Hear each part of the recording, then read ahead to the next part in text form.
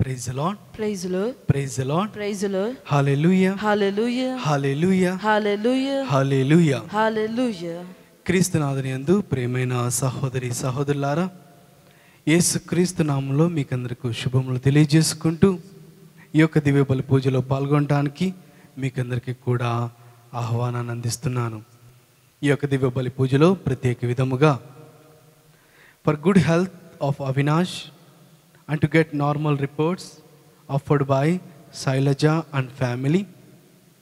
For good health of Krishnaveni and healing from gastric problems offered by J.A. Das Babu. For good health of Sri Ramulu and Nagamani and protection and salvation of family offered by Madhavi. For gift of child offered by Allam Sampath Reddy and Supraja family for good health of Gali Innareddy and Lily Mary. Thanksgiving and birthday blessings upon Sunil Amritraj Baviri, and for gift of child offered by family members. For departed soul of Talapalli Bhagyam offered by family members. For departed soul of Boga Maria Karuna Kumar offered by Boga Arogyam. For departed soul of Sadik Mary offered by family members for departed soul of Lingam Purnachandra Rao, offered by Lingam Jayalakshmi. For departed soul of Tirumal Reddy Varshita, offered by Tirumal Reddy Bal Reddy and Chinnamma. For speedy recovery of Tumma Joseph Bala, offered by Tumma Rayapareddy Aruna.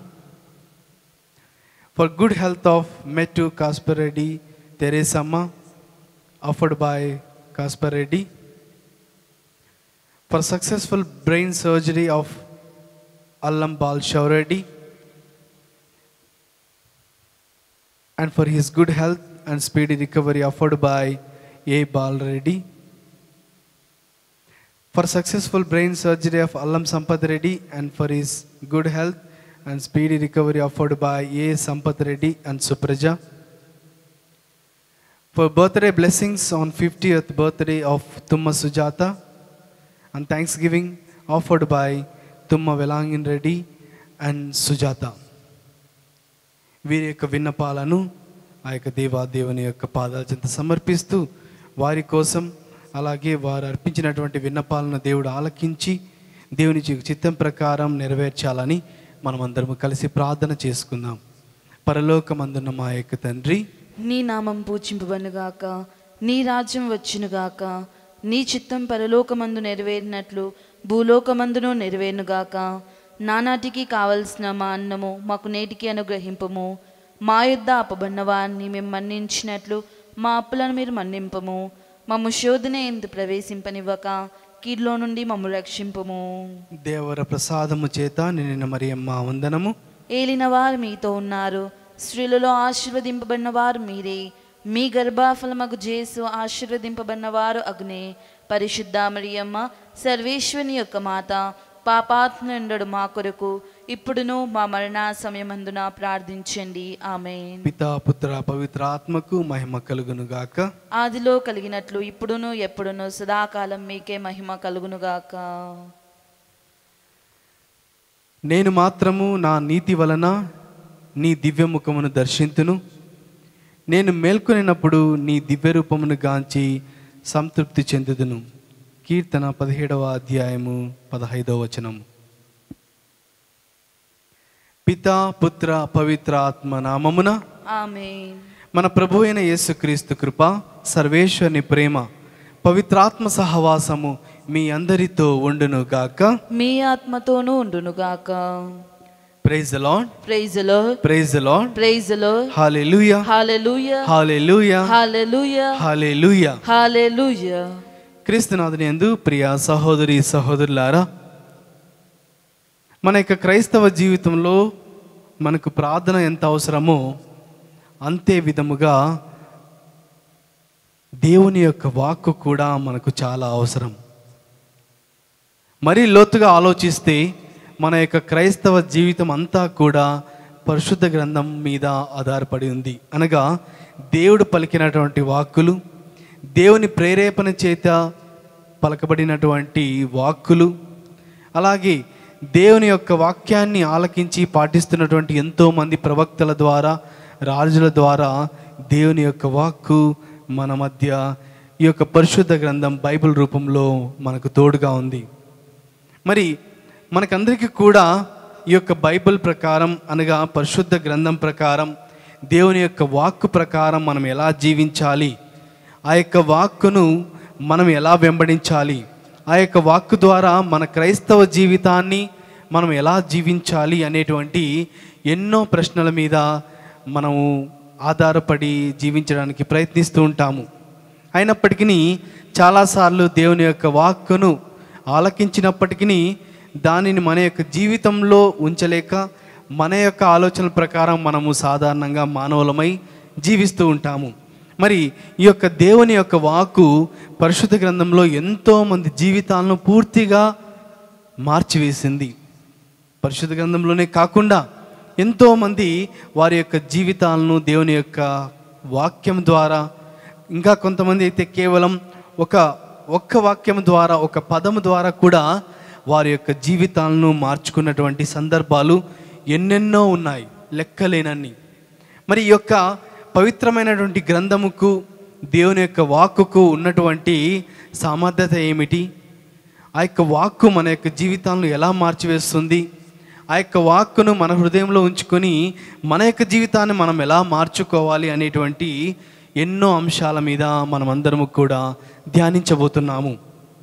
మరి దేవుని యొక్క వాక్యాన్ని ఆలకించబోతున్న మనం అందరము కూడా మన యొక్క హృదయాలను మన యొక్క మనసులను ప్రభువుకు సమర్పించుకుందాం. అలాగే మన యొక్క పాపపు జీవితాన్ని పాపపు స్వభావాన్ని ఆ యొక్క దేవా దేవునికి సమర్పించిన ఎడల దేవుడు దేవుని యొక్క వాక్యంతో మనల్ని నింపి పరిశుద్ధులుగా లేవనెత్తుతాడు అనేటువంటి విశ్వాసంతో మన యొక్క పాపములను ప్రభువుకు సమర్పించుకొని సమర్పించుకుంటూ దేవుని నుంచి క్షమాపణను కోరుకుందాం. సర్వశక్తి గల సర్వేశ్వని చెంతను సహోదరి సహోదరులారా మీ చింతను నా పాపములను ఒప్పుకొనుచున్నాను.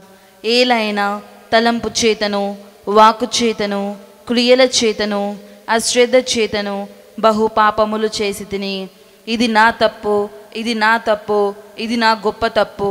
అందుచేత నిత్య కన్యక అయిన పరిశుద్ధ మరియమాతను సకల దూతలను పునీతులను సహోదరి సహోదరులారా మీరును నా కొరకు మన కర్త అయిన సర్వేశ్వరుని ప్రార్థింపవలేనని బ్రతిమాలు కొనుచున్నాను సర్వశక్తి గల సర్వేశ్వరుడు మనకు దయ చూపి మన పాపములను మన్నించి మనల్ని నిత్య జీవితమునకు చేర్చునుగాక.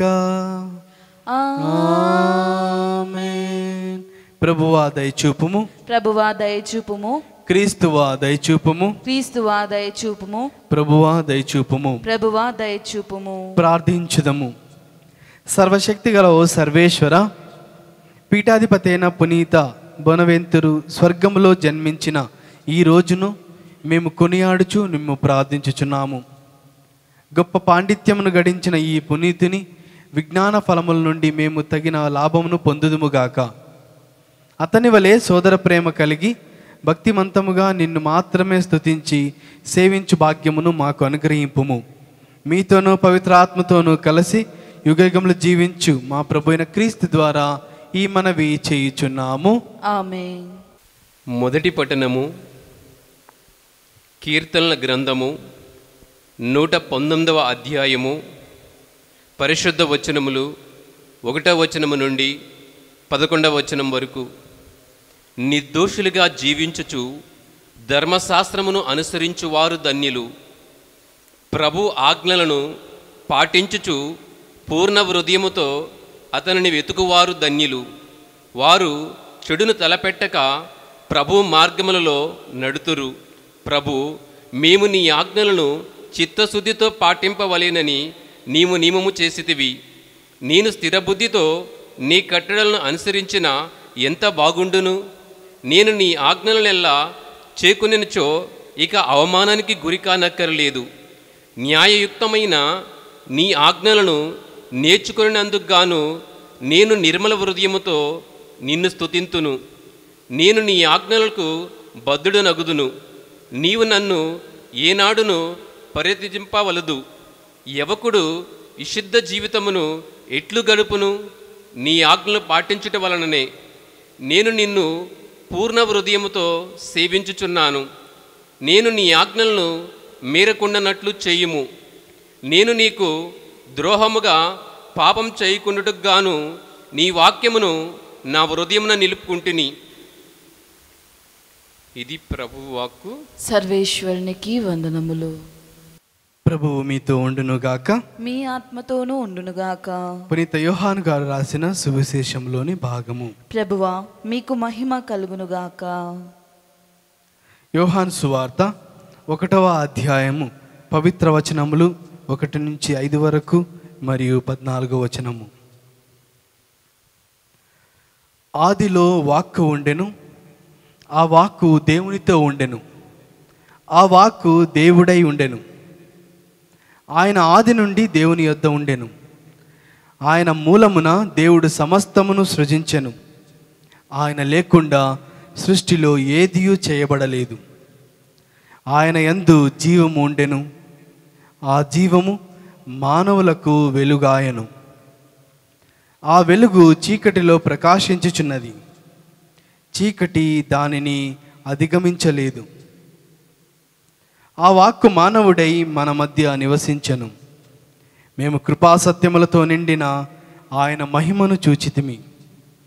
అది తండ్రి యొద్ద నుండి వచ్చిన ఏకైక కుమారుని మహిమ.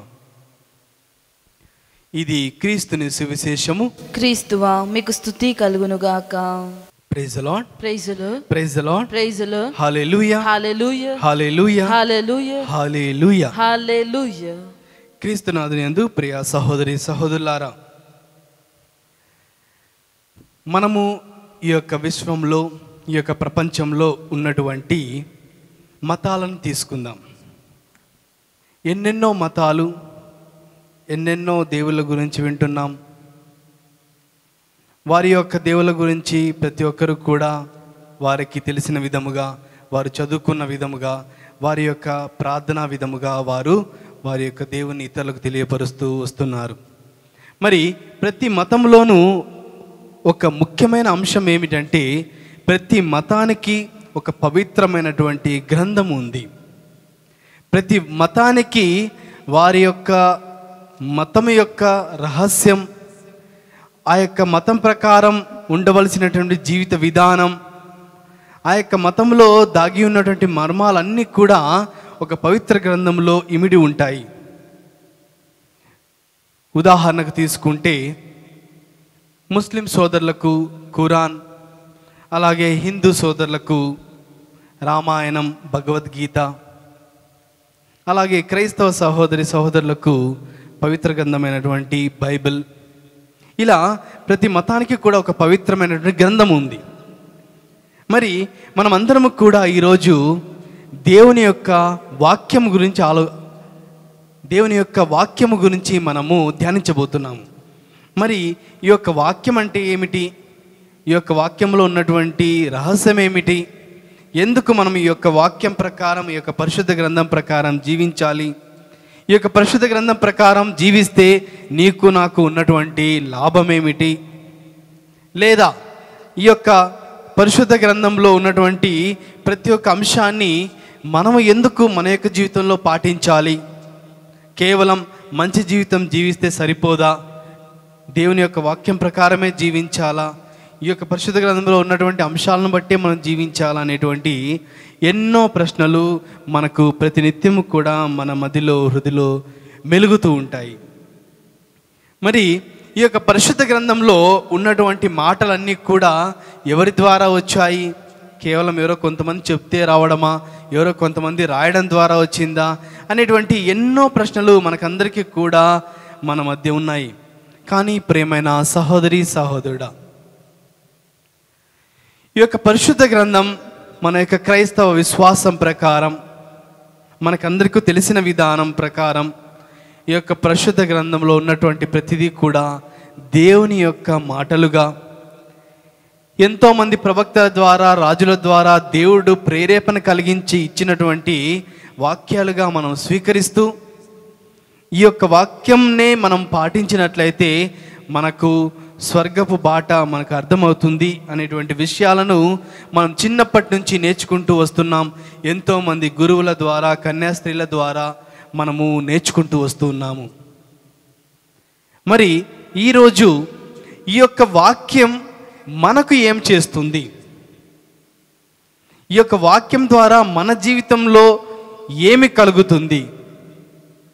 ఈ యొక్క వాక్యం ద్వారా మన జీవితం ఒక పాత జీవితం ఒక నూతన జీవితంగా ఎలా మార్చుకోవచ్చు అనేటువంటి అంశాల మీద మనము ధ్యానించుకుందాం. ఎందుకంటే ప్రియమైన సహోదరి సహోదరుడ ఈ యొక్క పరిశుద్ధ గ్రంథాన్ని అంతా కూడా మనము రెండు భాగాలుగా విభజించవచ్చు.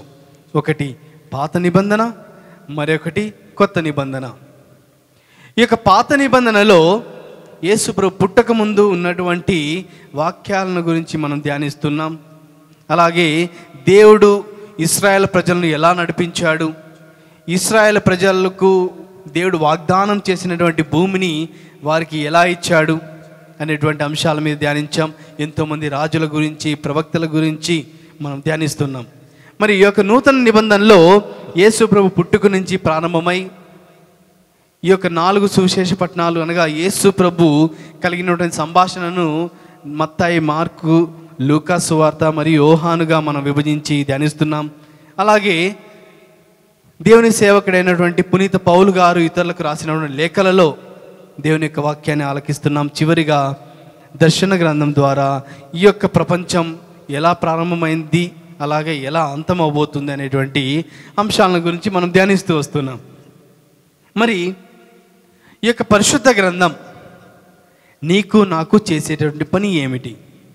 ఈ యొక్క పరిశుద్ధ గ్రంథం ప్రకారం మనం నడుచుకుంటే మనకున్నటువంటి లాభం ఏమిటి అనేటువంటి ఆలోచనకు వస్తే ఆ యొక్క ప్రశ్న మనకు వస్తే మొట్టమొదటిగా మనము ధ్యానించవలసిన విషయము ఈ యొక్క వాక్కు ఎంతోమంది జీవితాలను మార్చివేసింది.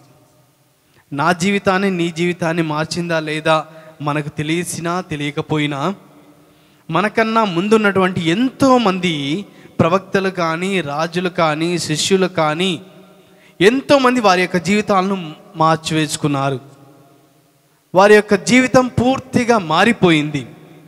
దానికి కారణం వాళ్ళు చెప్పేటటువంటి సాక్ష్యం వారు ఇచ్చేటువంటి సమాధానం అంతా కూడా ఎక్కడో లేదు కేవలం ఈ యొక్క పరిశుద్ధ గ్రంథంలో మాత్రమే ఉంది. మరి ఈ యొక్క పరిశుద్ధ గ్రంథం ఈ యొక్క పరిశుద్ధ గ్రంథంలో ఉన్నటువంటి వాక్యాలు వారి యొక్క జీవితాలను ఎందుకు మార్చివేశాయి అంటే మనకు తెలిసిన విధముగా సుశేషపట్నంలో మనం చదువుకున్న విధముగా దేవుని యొక్క వాక్కు ఎవరో అంటే మనకు సమాధానం తెలుసు. స్వయాన మన యేసుక్రీస్తు ప్రభుల వారు యేసుక్రీస్తు. అందుకనే యోహాన్ సువార్త ఒకటవ అధ్యాయము పద్నాలుగవ వచనంలో మనం వింటున్నాము ఆదిలో ఉన్నటువంటి ఆ వాక్కు ఈరోజు మానవుడై మన మధ్య నివసించెను. మానవుడై మన మధ్య జన్మించాడు. ఆ యొక్క వ్యక్తి ఎవరు అంటే యేసు ప్రభు. అందుకనే ఈ యొక్క వాక్యాన్ని పాటించిన వారు ఆలకించిన వారు వాక్యం ప్రకారం జీవించిన వారు వారి యొక్క జీవితాన్ని మార్చుకున్నారు. కొంతమంది మార్చుకోకూడదు అని ఆలోచించినప్పటికీ దేవుని యొక్క వాక్కు నాకు అవసరం లేదు అని పారిపోవాలి అని ప్రయత్నించినప్పటికీ దేవుని యొక్క వాక్కు నిన్ను నన్ను ఒక్కసారి వశం చేసుకుంటే దేవుని యొక్క వాక్కు నీతో నాతో ఒక్కసారి ఉంది అంటే మన యొక్క జీవితం ఎలాంటి వ్యక్తి అయినా మారిపోవాల్సిందే మనం రాబోతున్న రోజుల్లో కూడా ఒక్కొక్క ప్రవక్త ద్వారా దేవుని యొక్క వాక్కు వారిని ఎలా మార్చివేసింది అనేటువంటి అంశాలు నేర్చుకుందాం. అయినప్పటికీ ఈరోజు ఈ యొక్క దేవుని వాక్కు ఎవరు అంటే స్వయంగా యేసు ప్రభు అనేటువంటి విషయం మనకందరికీ కూడా తెలుసు. మరి ఆ యొక్క వాక్కు ఆదిలో ఎక్కడ ఉన్నాడు? యేసు ప్రభు పాత నిబంధన గ్రంథంలో లేడు కదా? అనేటువంటి డౌట్ రావచ్చు. ఈ యొక్క సృష్టిని ఆది కాండం ఒకటవ అధ్యాయాన్ని మనం గమనిస్తే దేవుడు ఈ యొక్క సృష్టిని చేసేటప్పుడు ఎలా చేశాడు అంటే కేవలం తన యొక్క మంత్రశక్తుల ద్వారా ఏదో అది వేసి ఇది వేసి లేదా ఇదా చేసి అలా చేసి కాదు.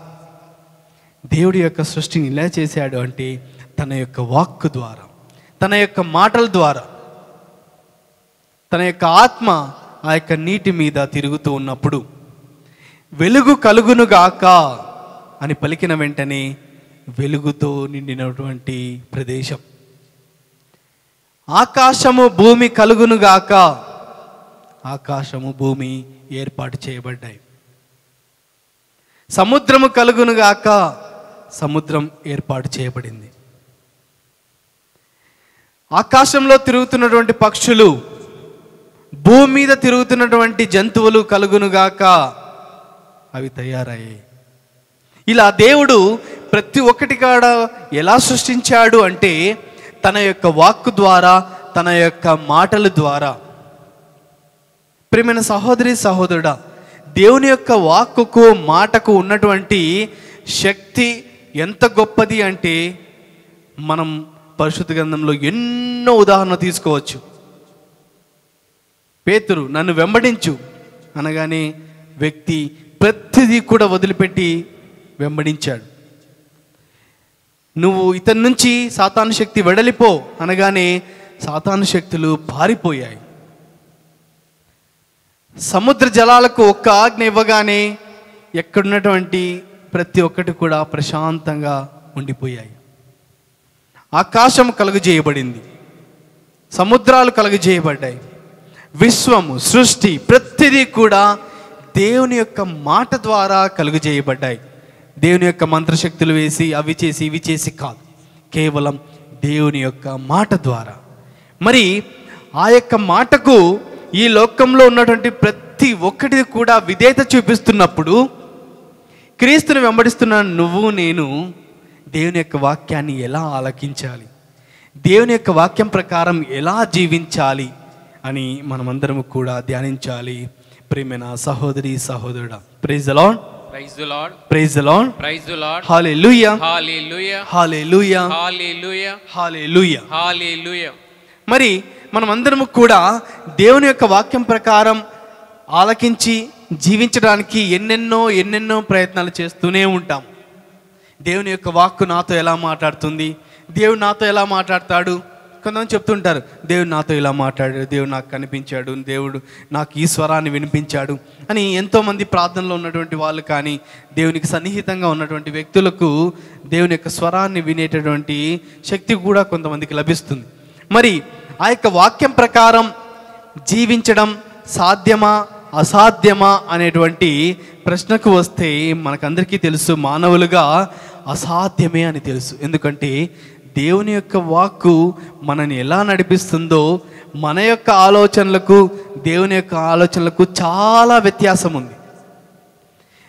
మానవుని యొక్క మాటలకు దేవుని యొక్క మాటలకు చాలా వ్యత్యాసం ఉంది. దేవుని యొక్క నడ మన యొక్క నడవడికు దేవుని యొక్క ప్రణాళికలకు ఎంతో వ్యత్యాసం ఉంది.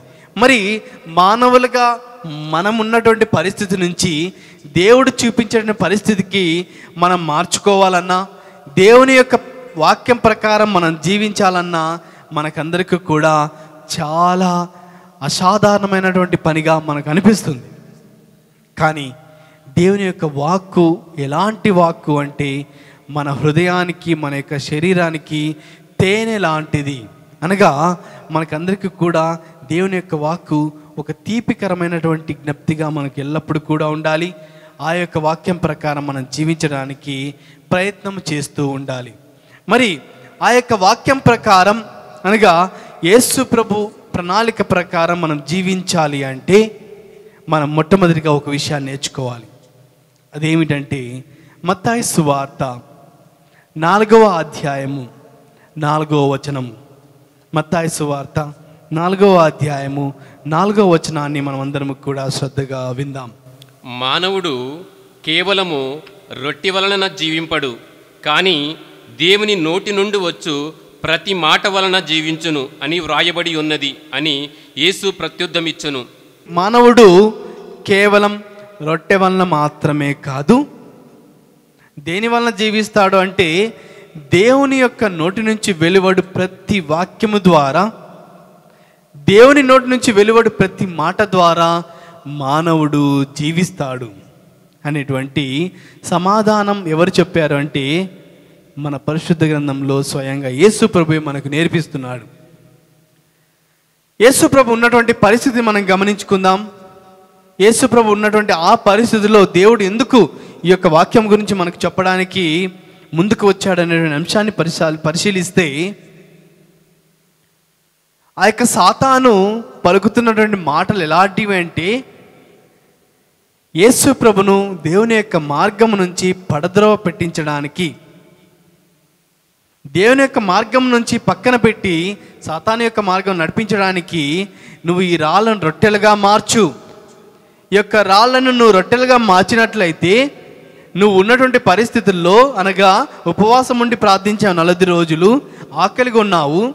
నీ యొక్క ఆకలిని ఈ యొక్క రాళ్ళు కూడా రొట్టెగా మార్చబడి నీ యొక్క రొ నీ యొక్క ఆకలిని తీర్చగలవు అని సాతాను బోధించినప్పుడు చెప్పినప్పుడు యేసు ప్రభు చెప్తున్న సమాధానం.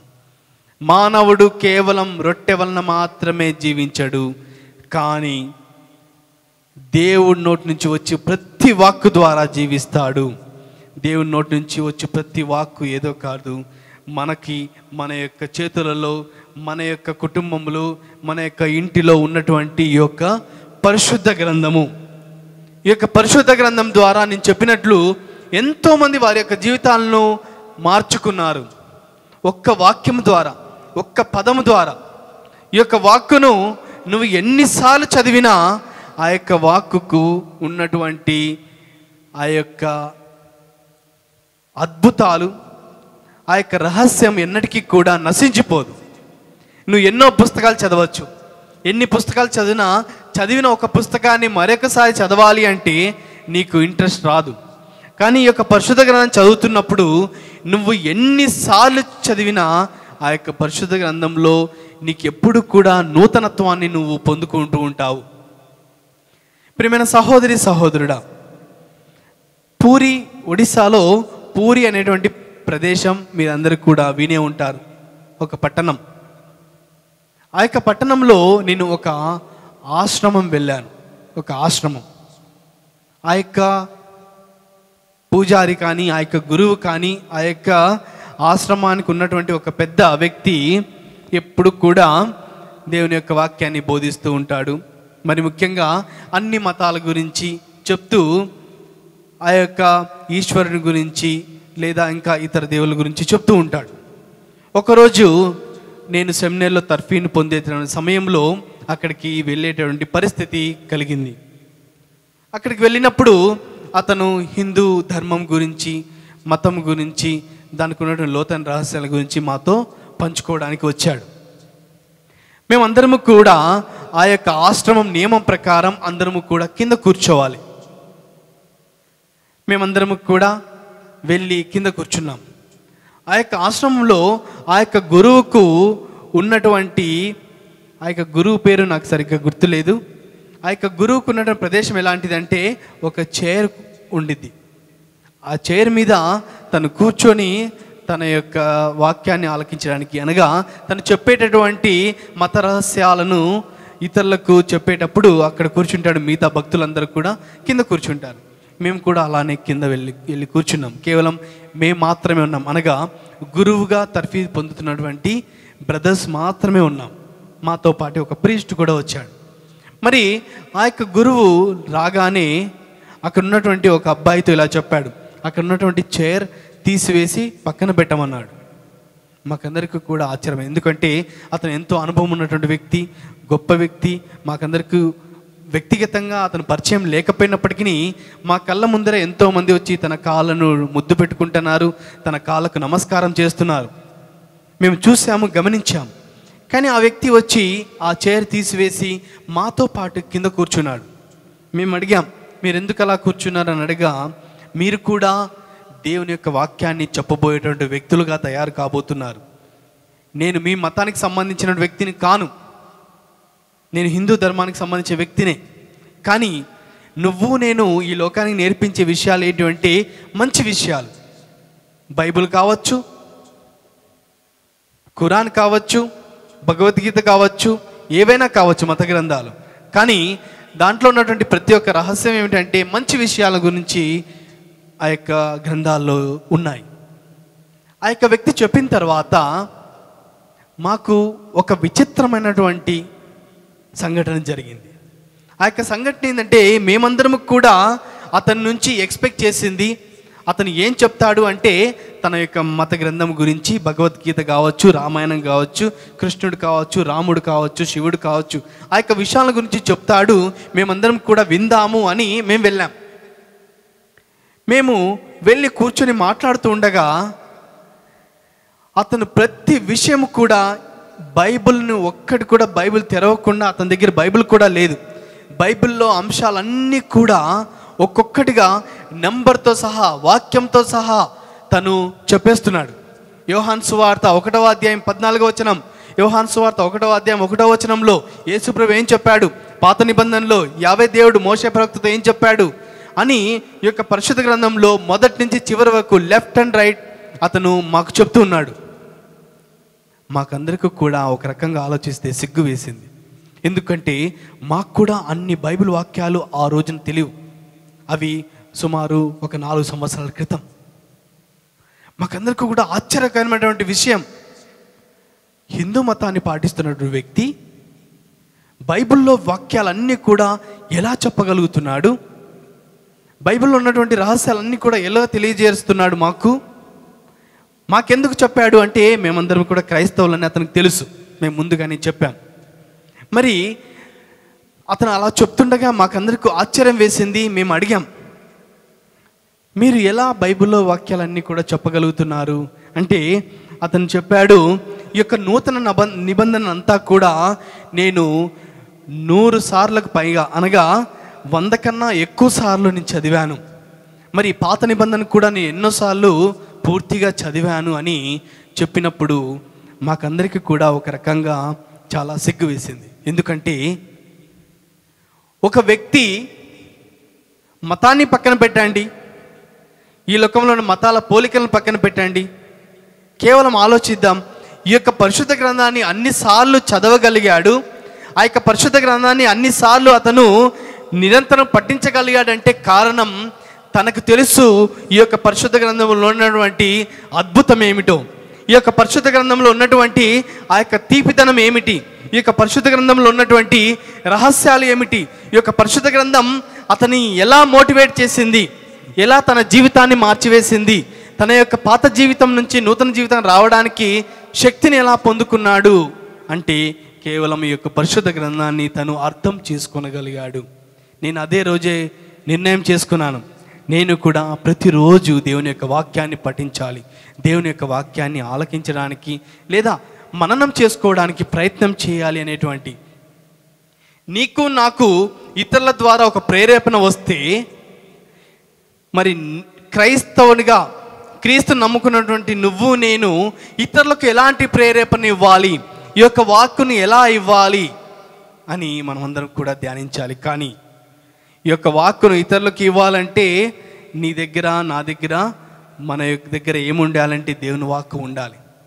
నీ దగ్గర నా దగ్గర పది రూపాయలు ఉంటేనే మనం ఇతరులకు ఒక ర- రూపాయి సహాయం చేయగలుగుతాం. నా దగ్గర ఏమి లేనప్పుడు ఇతరులకు ఏమైనా ఇవ్వగలుగుతామా? ఏమీ ఇవ్వలేం.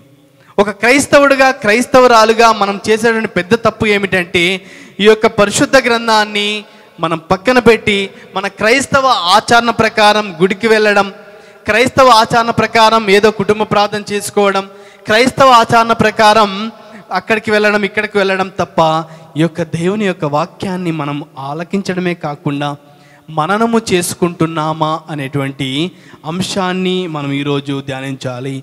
ప్రేమైన సహోదరి సహోదరుడా praise Lord praise the Lord. Praise Lord praise the Lord. Hallelujah. Hallelujah hallelujah. Hallelujah hallelujah. Hallelujah మరి ప్రేమైన సహోదరి సహోదరుడా ఈ యొక్క వాక్యం గురించి మనం ఆలకిస్తున్నాము. మరి యేసుప్రభు మనకు ఎందుకు ఈ సమాధానాన్ని చెప్పాడు? యేసుప్రభు మనకు ఎందుకు ఈ వాక్యాన్ని నేర్పిస్తున్నాడు? మానవుడు కేవలం రొట్టె వలన మాత్రమే కాకుండా దేవుని నోటి నుంచి వెలువడు ప్రతి వాక్ ద్వారా మానవుడు జీవిస్తున్నాడు అనేటువంటి ఒక వాక్యాన్ని మనకు ఎందుకు ఇచ్చాడు అంటే నీకు నాకు జీవించడానికి ఆధారం ఈ లోకంలో దేవుని యొక్క వాక్కు. చనిపోయినటువంటి వ్యక్తులను కూడా యేసుప్రభు ఎలా లేవనెత్తాడంటే లాజర్ వెలుపలికి రమ్ము అని చెప్పగానే చనిపోయినటువంటి ఒక వ్యక్తి కూడా బయటకు రాగలిగాడు. చనిపోయినటువంటి ఆ వ్యక్తి దేవుని యొక్క వాక్యాన్ని ఆలకించగా తన యొక్క శరీరం చనిపోయింది అనగా తన యొక్క శరీరంలో ఏ పార్ట్ కూడా ఎలాంటి భాగం కూడా పనిచేయట్లేదు. కానీ దేవుని యొక్క వాక్కు నర నరాల్లో వెళ్ళి జీవాన్ని నింపుతుంది అనేటువంటి విశ్వాసం మనకందరికీ కూడా ఉంది. మనం ఆలకించుదాం. మరి ఈ యొక్క వాక్కును మనం ఆలకించినప్పుడు మనకేమవుతుంది? ఈ యొక్క వాక్కు ద్వారా మన యొక్క జీవితంలో ప్రతిరోజు ఏం జరుగుతుంది అనేటువంటి అంశాలను మనం ధ్యానించేటప్పుడు ఆరు అంశాలుగా మనము ఈరోజు దేవుని యొక్క వాక్యం గురించి ఆలకించుదాం. ఈ యొక్క ఆరు అంశాలను కూడా మీకు వీలైతే రాసుకోండి. మళ్ళీ కూడా మీరు చదువుకోవచ్చు ఇంకా ధ్యానించవచ్చు. నాకు వచ్చినటువంటి ప్రేరేపణ కాకుండా దేవుడు మీకు ఇంకా ఎక్కువ ప్రేరేపణ కూడా ఇవ్వచ్చు. ఎందుకంటే దేవుని యొక్క వాక్కు ప్రతి ఒక్కరితోనూ సంభాషిస్తుంది. నీకు మాకు అలాగే మానవులుగా మనకందరికీ ఉన్నటువంటి ఒకే ఒక లోపం ఏంటంటే మనం దేవుని యొక్క వాక్యాన్ని ఆలకిస్తాం కానీ ఆ యొక్క వాక్యాన్ని మనం ధ్యానించలేం. ఆ యొక్క వాక్యాన్ని మనం లోతుగా వెళ్ళలేం. దేవుని యొక్క వాక్యాన్ని ఆలకించినప్పుడు నువ్వు నేను చేసేటువంటి పని ఏమిటంటే ఇక్కడ దేవుని వాక్యాన్ని ఆలకించి ఇక్కడ మానవుని యొక్క ఆలోచనలకు ప్రాముఖ్యత ఇస్తాం దేవుని యొక్క ఆలోచనలు పక్కన పెడుతున్నాం. కానీ ఈరోజు మనం ధ్యానించుకుందాం ప్రేమ సహోదరి సహోదరుడు. ఆరు అంశాలను మనం ధ్యానించుకుందాం. మొట్టమొదటిది యొక్క దేవుని వాక్కు మనం ఒక మంచి క్రైస్తవ జీవితం జీవించడానికి మనకు సహాయం పడుతుంది. ఒక మంచి క్రైస్తవ జీవితం ఎలా ఉంటుంది? ఈ యొక్క వాక్కు ద్వారా మనం ఎలా మంచి క్రైస్తవ జీవితాన్ని జీవించవచ్చు అనేటువంటి అంశాన్ని మొదటి అంశంగా మనము పరిశీలించుకుందాం ధ్యానించుకుందాం. యోహాను రాసిన మొదటి లేఖ రెండవ అధ్యాయము పద్నాలుగో వచనాన్ని మనము చదివినట్లయితే ఈ యొక్క వాక్కు ద్వారా మనము ఒక క్రైస్తవ జీవితాన్ని జీవించాలి. మానవులుగా మానవ జీవితం మనం అందరం కూడా జీవించవచ్చు. మానవ జీవితానికి మన క్రైస్తవ జీవితానికి ఒక ప్రత్యేకత అంటూ ఉండాలి. లేకపోతే నువ్వు నేను ఇతరులాగే జన్మించాం ఇతరులాగే చనిపోతాం. దానికి ఎలాంటి లాభం లేదు. కానీ నువ్వు నేను క్రీస్తుని వెంబడిస్తున్న వ్యక్తులుగా జీవించాలంటే ఒక మంచి క్రైస్తవ జీవితం జీవించాలి. మొట్టమొదటిగా మన వాక్యాన్ని విందాం. ఆ తర్వాత మంచి క్రైస్తవ జీవితం ఏందో ధ్యానించుకుందాం. యోహాన్ రాసిన మొదటి లేఖ రెండవ అధ్యాయము పద్నాలుగో వచనము. బిడ్డలారా బిడ్డలారా తండ్రిని మీరు ఎరుగుటచే. మీకు రాయిచున్నాను. తండ్రులారా హద్యుడగు వ్యక్తిని మీరు ఎరుగుటచే మీకు రాయిచున్నాను. యవకులారా మీరు బలవంతులగుట చేతనే దేవుని వాక్కు మీ అందు నిలిచి ఉండుట చేతనే దుష్టుణ్ణి మీరు జయించుట జయించి ఉండుట చేతనే మీకు రాయిచున్నాను. Praise Lord praise Lord praise Lord praise Lord hallelujah hallelujah hallelujah hallelujah ప్రియ సహోదరి సహోదరుడా ఈ యొక్క వాక్యం మనకేం చెప్తుందంటే తండ్రులకు కుటుంబ సభ్యులకు యువకులకు ఇవన్నీ కూడా కలిపి చివరిగా దేవుని యొక్క వాక్కు మీ అందు నిలిచి ఉండ చేత దుష్టిని మీరు జయించి ఉండ చేత మీకు వ్రాయుచున్నాను. అనగా ఈ లోకంలో ఉన్నటువంటి ఆ యొక్క దుష్టి జయించాలి అంటే మనం చేయవలసిన పని ఏమిటి? ఒక మంచి క్రైస్తవ జీవితం జీవించాలి. ఆ యొక్క క్రైస్తవ జీవితాన్ని ఎలా జీవించాలంటే దేవుని యొక్క వాక్ ప్రకారం జీవిస్తే మాత్రమే మనము మంచి జీవితం జీవిస్తున్నాము అని చెప్పగలుగుతాం. లేకపోతే నేను ఒక మంచి వాడిని మంచి క్రైస్తవుని నువ్వు నేను చెప్పలేం. నువ్వు ఎన్నెన్నో ధర్మకార్యాలు చేయొచ్చు ఎన్నెన్నో పనులు చేయొచ్చు కానీ దేవుని యొక్క వాక్యం ప్రకారం జీవించలేకపోతే మన యొక్క జీవితం మంచి జీవితంగా పరిగణించబడదు. ప్రైజ్ మరి ఒక మంచి క్రైస్తవ జీవితం అంటే ఏమిటి? ఫాదర్ గారండి క్రైస్తవ జీవితం అంటేనే మంచిది. మరి దీంట్లో కూడా మంచి క్రైస్తవ జీవితం ఏంటి? చెడ్డ క్రైస్తవ జీవితం ఏంటి? మీరు ఏం చెప్తున్నారు ఫాదర్ అని మనకి ఎవరికైనా మీకు ప్రశ్న వచ్చి వచ్చి ఉండినట్లయితే ప్రైజ్ దిలాట్ చెప్పండి. ఎందుకంటే ఈ విషయం గురించి మనం ధ్యానించాలి. మనలో ఎంతోమంది పుట్టు క్రైస్తవులు. ఎవరినైనా మనం ప్రశ్నించినప్పుడైతే నువ్వు చిన్నప్పటి నుంచే క్రైస్తవుడువా? అని అడిగితే కొంతమంది చెప్తూ ఉంటారు. మా తాత ముత్తాతల నుంచే నేను క్రైస్తవుని మా తాత వాళ్ళే చర్చికి వెళ్ళేవాళ్ళు. ఎప్పటి నుంచో చర్చికి వెళ్తున్నాం. క్రైస్తవుణ్ణి అని మనం గర్వంగా చెప్పుకుంటాం తప్పులేదు కానీ ఒక మంచి క్రైస్తవ జీవితం అంటే ఆ యొక్క మంచి క్రైస్తవ జీవితానికి చెడ్డ క్రైస్తవ జీవితం ఏమిటి? వీటిలో ఉన్నటువంటి వ్యత్యాసం ఏమిటి? అనేటువంటి ఆలోచన మనకు వస్తుంది. మరి ప్రేమైన సహోదరి సహోదరుడా చాలామంది మనలో ఆచరణ ప్రకారం చర్చికి వెళ్ళడం సంప్రదాయం. ఒక సంప్రదాయం ప్రకారం లేదా ఆచరణ ప్రకారం ఆదివారం రోజున చర్చికి వెళ్ళాలి. లేదా మన యొక్క పరిశుద్ధ గ్రంథం నియమం ప్రకారం సంఘ నియమం ప్రకారం మనము మన యొక్క సహాయాన్ని అందించాలి ఇలాంటి పనులు చేయాలి ఆ, తర్వాత ఇలా ఇలా పనులు చేయాలి అనేటువంటి ఎన్నో అంశాలు తెలుసు. కానీ నేను మీకు ఇచ్చిన ఒక చిన్న ఉదాహరణను గమనించుకుందాం. ప్రతి ఆదివారం చర్చికి వస్తున్నటువంటి జనాలు ఎంతమంది? ప్రతి ఆదివారం చర్చిలో ఎంతమంది ఉంటున్నారు? ఆ తర్వాత ప్రతి ఈస్టర్ లేదా ప్రతి క్రిస్మస్ ఎంతమంది ఉంటున్నారు? ఆ రెండు పండుగలను మనం గమనించుకుందాం. ఆదివారం రోజున క్రిస్మస్ లేదా ఈస్టర్ రోజున. ఆదివారం రోజున సుమారు మన చర్చిలన్నీ నిండిపోతాయి. లేదా చర్చి చర్చిలో సగం వరకు జనాలు ఉంటారు. కానీ ఈస్టర్ క్రిస్మస్ రోజున చర్చి అంతా కూడా నిండిపోయి ఉంటుంది. చర్చి బయట కూడా జనాలు ఉంటారు. అంతేకాదు ఎంతోమంది కొత్త వ్యక్తులు కనిపిస్తారు మనం అనుకుంటాం ఆ క్రిస్మస్ పండుగ కాబట్టి ఎంతోమంది బంధువులు అంతా వచ్చారు అక్కడ వాళ్ళు వచ్చారు ఇక్కడ వాళ్ళు వచ్చారు అందరూ కూడా వచ్చారు. పండుగ కాబట్టి. ప్రియమైన సహోదరి సహోదర ఉన్నటువంటి రహస్యం ఏమిటంటే ఇది కేవలం బంధుమిత్రులు మాత్రమే కాదు. చాలామంది మన క్రైస్తవ జీవితాన్ని ఎలా జీవిస్తున్నాము అంటే ప్రతి ఆదివారం కాకుండా ఎప్పుడో ఒకసారి చర్చికి వెళ్ళి దేవుని దర్శించి వస్తే చాలు. యేసుప్రభు కాలో చెప్పి వస్తే చాలు. ఎక్కడికి వెళ్ళి ఒక చిన్న పర్లోకి చెప్పని చెప్పి వస్తే చాలు అనేటువంటి ఆచరణ. మన యొక్క క్రైస్తవ సంప్రదాయం ప్రకారం ఈస్టర్ క్రిస్మస్ పెద్ద పండుగ కాబట్టి ఖచ్చితంగా చర్చికి పోవాలి. మిగతా ఆదివారాలు పోయినా పోయకపోయినా ప్రాబ్లం లేదు సమస్య లేదు అడిగే వాళ్ళు ఎవరు కూడా లేరు. మరి రెండు రోజులుగా బెన్నీ గారు సబ్బాతు దినం గురించి లేదా ఆదివారం గురించి దానికి ఉన్నటువంటి విశిష్టత గురించి మనకు ఎంతగానో అద్భుతంగా మనకు చెప్పి ఉన్నారు. ఆ యొక్క క్రైస్తవ జీవితంలో ఒక ఆదివారాన్ని మనం ఎలా దేవునికి కేటాయించాలి సబ్బాతు దినాన్ని దేవునికి ఎలా కేటాయించాలని ఫాదర్ గారు చెప్పి ఉన్నారు. మరి ఆ యొక్క విషయాలను మనం అందరం కూడా మరొకసారి ధ్యానించండి. మరి మన క్రైస్తవ జీవితంలో ఎందుకు ఈ యొక్క ఆచరణ అయిపోయింది? చర్చికి వెళ్ళడం కూడా ఎలా వెళ్తున్నామంటే చర్చికి వెళ్ళే వాళ్ళు చాలామంది. ఫాదర్ గారు ప్రసంగం అంతా అయిపోయిన తర్వాత చర్చికి వెళ్తారు. ఇంకా మరి కొంతమంది అయితే కేవలం సప్రసాదాన్ని తీసుకుంటారు సప్రసాదం తీసుకొని వెళ్ళిపోతారు. సప్రసాదం తీసుకోవడం కోసమే కొంతమంది వస్తారు. కొంతమంది కేవలం బైబిల్ పట్టణం వరకు ఉంటాం ఆ తర్వాత వెళ్ళిపోతాం. మరి ఎందుకు ఈ యొక్క ఆచరణ మన యొక్క క్రైస్తవ జీవితంలో లో రోజు రోజుకి పెరిగిపోతుంది? ఎందుకు ఈ యొక్క క్రైస్తవ జీవితంలో చర్చికి వెళ్ళడం ఒక సంప్రదాయంగా మాత్రమే ఉంది కానీ మన క్రైస్తవ విశ్వాసానికి మన క్రైస్తవ విశ్వాసం బలపడుతుందా లేదా అనేటువంటి అంశాన్ని మనం ధ్యానించలేకపోతున్నాం. ఎందుకంటే ప్రియమైన సహోదరి సహోదరుడా దేవుని యొక్క వాక్కు మన హృదయంలో లోతుగా పోవట్లేదు. మన యొక్క కుటుంబంలో దేవుని యొక్క వాక్కు లోతుగా ఉందా లేదా అని పరిశీలించాలంటే మనమందరము చర్చికి ఎన్ని గంటలకు వెళ్తున్నాం? చర్చిలో ఎంతసేపు ఉంటున్నాం?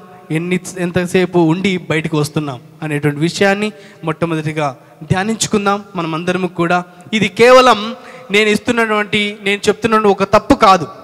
లేదా క్రైస్తవుల్లో పడుతున్న ఒక తప్పును కనిపెడుతున్నానని కాదు. ఇది మనల్ని మనం ఆత్మ పరిశీలన చేసుకోటే చేసుకునేటటువంటి సమయం. ఇప్పుడున్నటువంటి పరిస్థితుల్లో ఎవ్వరు కూడా చర్చికి వెళ్ళలేకపోతున్నాం. ఎంతోమంది నిరాశతో ఉన్నారు.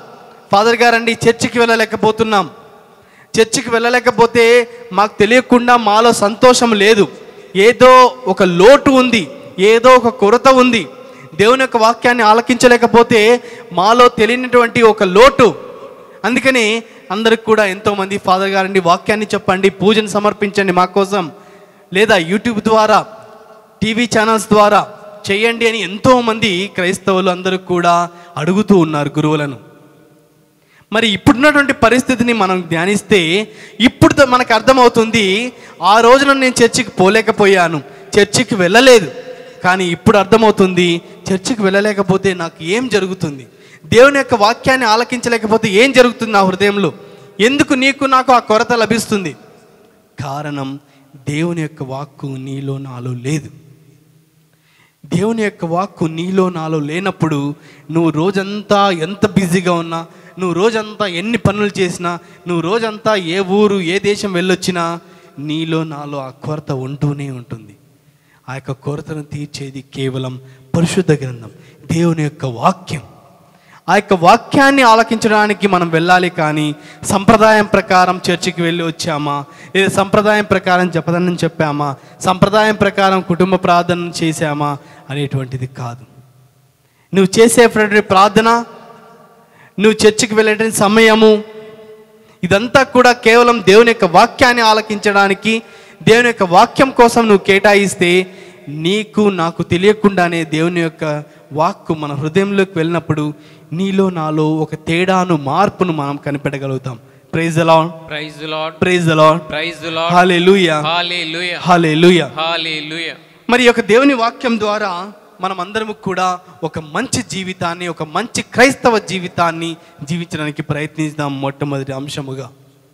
మరి రెండవది అంశముగా మనం దేవుని మన మంచి క్రైస్తవ జీవితాన్ని జీవించాలి అంటే రెండవ అంశం ఏమిటంటే అహోరాత్రులు రాత్రి పగలు ఉదయము సాయంత్రము అనేటువంటి ఏ తేడా లేకుండా దేవుని యొక్క వాక్యాన్ని మనం చేయడానికి ప్రయత్నించాలి. దేవుని యొక్క వాక్యాన్ని మనం చేయడం అంటేనే ఇలా వెళ్ళి ఇలా కూర్చొని లేదా కళ్ళు మూసుకొని చేతులెత్తి కేవలం మాత్రం కాదు. నువ్వు నడుస్తున్నప్పుడు దేవుని యొక్క వాక్కు నీతో ఉంది. నువ్వు పడుకున్నప్పుడు దేవుని యొక్క వాక్కు నీతో ఉంది. నువ్వు బయటకు వెళ్ళినప్పుడు దేవుని యొక్క వాక్కు నీతో ఉంది. నువ్వు ఎక్కడికి వెళ్ళినా ఏ సమయంలో అయినా దేవుని వాక్కు నీతో ఉంది. కేవలం ఆ యొక్క వాక్యానికి మన యొక్క చెవులను మనము తెరచి ఉంచాలి. ఆ యొక్క వాక్యానికి మనం మన యొక్క చెవులను సిద్ధం చేసుకోవాలి. చదువుకుందాం. యహోశివ గ్రంథం ఒకటవ అధ్యాయము ఎనిమిదో వచనంలో ఆ యొక్క వాక్ మనకి ఏం నేర్పిస్తుంది అంటే నువ్వు నేను దేవుని యొక్క వాక్యాన్ని నిరంతరము ధ్యానిస్తూ ఉండాలి. నిరంతరము ధ్యానిస్తూ ఉండాలంటే కేవలం చర్చిలో వెళ్ళి కూర్చొని ధ్యానించడం మాత్రమే కాదు. నువ్వు వెళ్తున్నప్పుడు పడుకున్నప్పుడు నడుస్తున్నప్పుడు బయటకు వెళ్ళినప్పుడు ఎక్కడికి వెళ్ళినా దేవుని యొక్క వాక్కు నిరంతరం నీతో ఉంది. అనగా యేసు ప్రభు నీతో ఉన్నాడు నాతో ఉన్నాడు. కేవలం ఆ యేసు ప్రభుని యొక్క మాటలను ఆలకించడమే నీకు నాకు ఉన్నటువంటి బాధ్యత. యహోశివ గ్రంథము ఒకటవ అధ్యాయము ఎనిమిదవ వచనం ఈ ధర్మశాస్త్రమును నిత్యము పాటింపుము. ఆహోరాత్రములు మననం చేసుకునుము. దానిలో చెప్పిన నియమములన్నిటినీ పాటింపుము. అప్పుడు నీ కార్యములు సంపూర్ణంగా నెరవేరును. నీవు కృతజ్ఞుడు అగుదువు. Praise Lord praise the Lord praise the Lord praise the Lord hallelujah hallelujah ప్రే సహోదరి సహోదరుడు వాక్యం పలుకుతుంది. నిరంతరము దేవుని యొక్క వాక్యాన్ని పఠించాలి. నిరంతరము దేవుని యొక్క వాక్యాన్ని మననం చేసుకోవాలి. అహోరాత్రములు దేవుని యొక్క వాక్యాన్ని నువ్వు ఆలకించాలి. అనగా మనం అనుకోవచ్చు ఫాదర్ గారండి నాకు ఆఫీసులో పని ఉంది లేదా నేను ఎన్నో బిజినెస్ చేస్తున్నాను పనులు చేస్తున్నాను. నాకు సమయం లభించట్లేదు ప్రార్థన చేసుకోవడానికి. దేవుని యొక్క వాక్యాన్ని మనం చేసుకోవడానికి నాకు అంత సమయం లేదు. కొద్ది సమయం మాత్రమే ఉంది. నేను నీకు నాకున్నటువంటి సమయం గురించి నేను చెప్పట్లేదు. నువ్వు చేస్తున్నటువంటి జాబ్ నేను మానివేయమని చెప్పట్లేదు. నువ్వు చేస్తున్న బిజినెస్ పక్కన పెట్టమని చెప్పట్లేదు. నువ్వు ఏ పని చేసినా నువ్వు ఎక్కడ ఉన్నా దేవుని యొక్క వాక్కు నీ హృదయంతో మాట్లాడుతుంది నీ యొక్క మనస్సాక్షితో మాట్లాడుతుంది. నేను ఒక పది రూపాయలు దొంగతనం చేయాలంటే నీకు తెలియకుండానే నాకు తెలియకుండానే నా యొక్క శరీరం ఒప్పుకోదు. నీకు తెలియకుండానే నా చేతులు వణుకుతాయి. నీకు నాకు తెలియకుండానే మన యొక్క శరీరంలో చెమట పడుతుంది. కారణం దేవుని యొక్క వాక్కు నీతో పలుకుతుంది. ప్రియమైన కుమారుడా కుమార్తె నువ్వు చేయబోతున్నటువంటి పని ఎలాంటి పని అంటే మంచి పని కాదు చెడ్డ పని. ఆ యొక్క చెడ్డ పని ఏదో ముందుగానే దేవుని యొక్క వాక్కు నీతో పలుకుతుంది. నువ్వు ఆఫీస్లో ఉండవచ్చు బిజినెస్ చేస్తుండవచ్చు ఏ పనైనా చేస్తుండవచ్చు. కానీ దేవుని యొక్క వాక్కు నీ యొక్క మనస్సాక్షియే నీకు తోడుగా ఉంది. నీ యొక్క మనస్సాక్షి నీకు చెప్తుంది. నేను వాక్యాన్ని గొప్పగా బోధించవచ్చు. నేను వాక్య ఇతరులు చూడడానికి కోసం నేను ఎంత గొప్పగా అయినా ప్రార్థన చేయొచ్చు. వారి ఎదురుగా చేతులు మో చేతులు ఎత్తి మోకరించి ప్రార్థన చేయవచ్చు. కానీ నీ మనస్సాక్షి నీకు సమాధానం చెప్తుంది.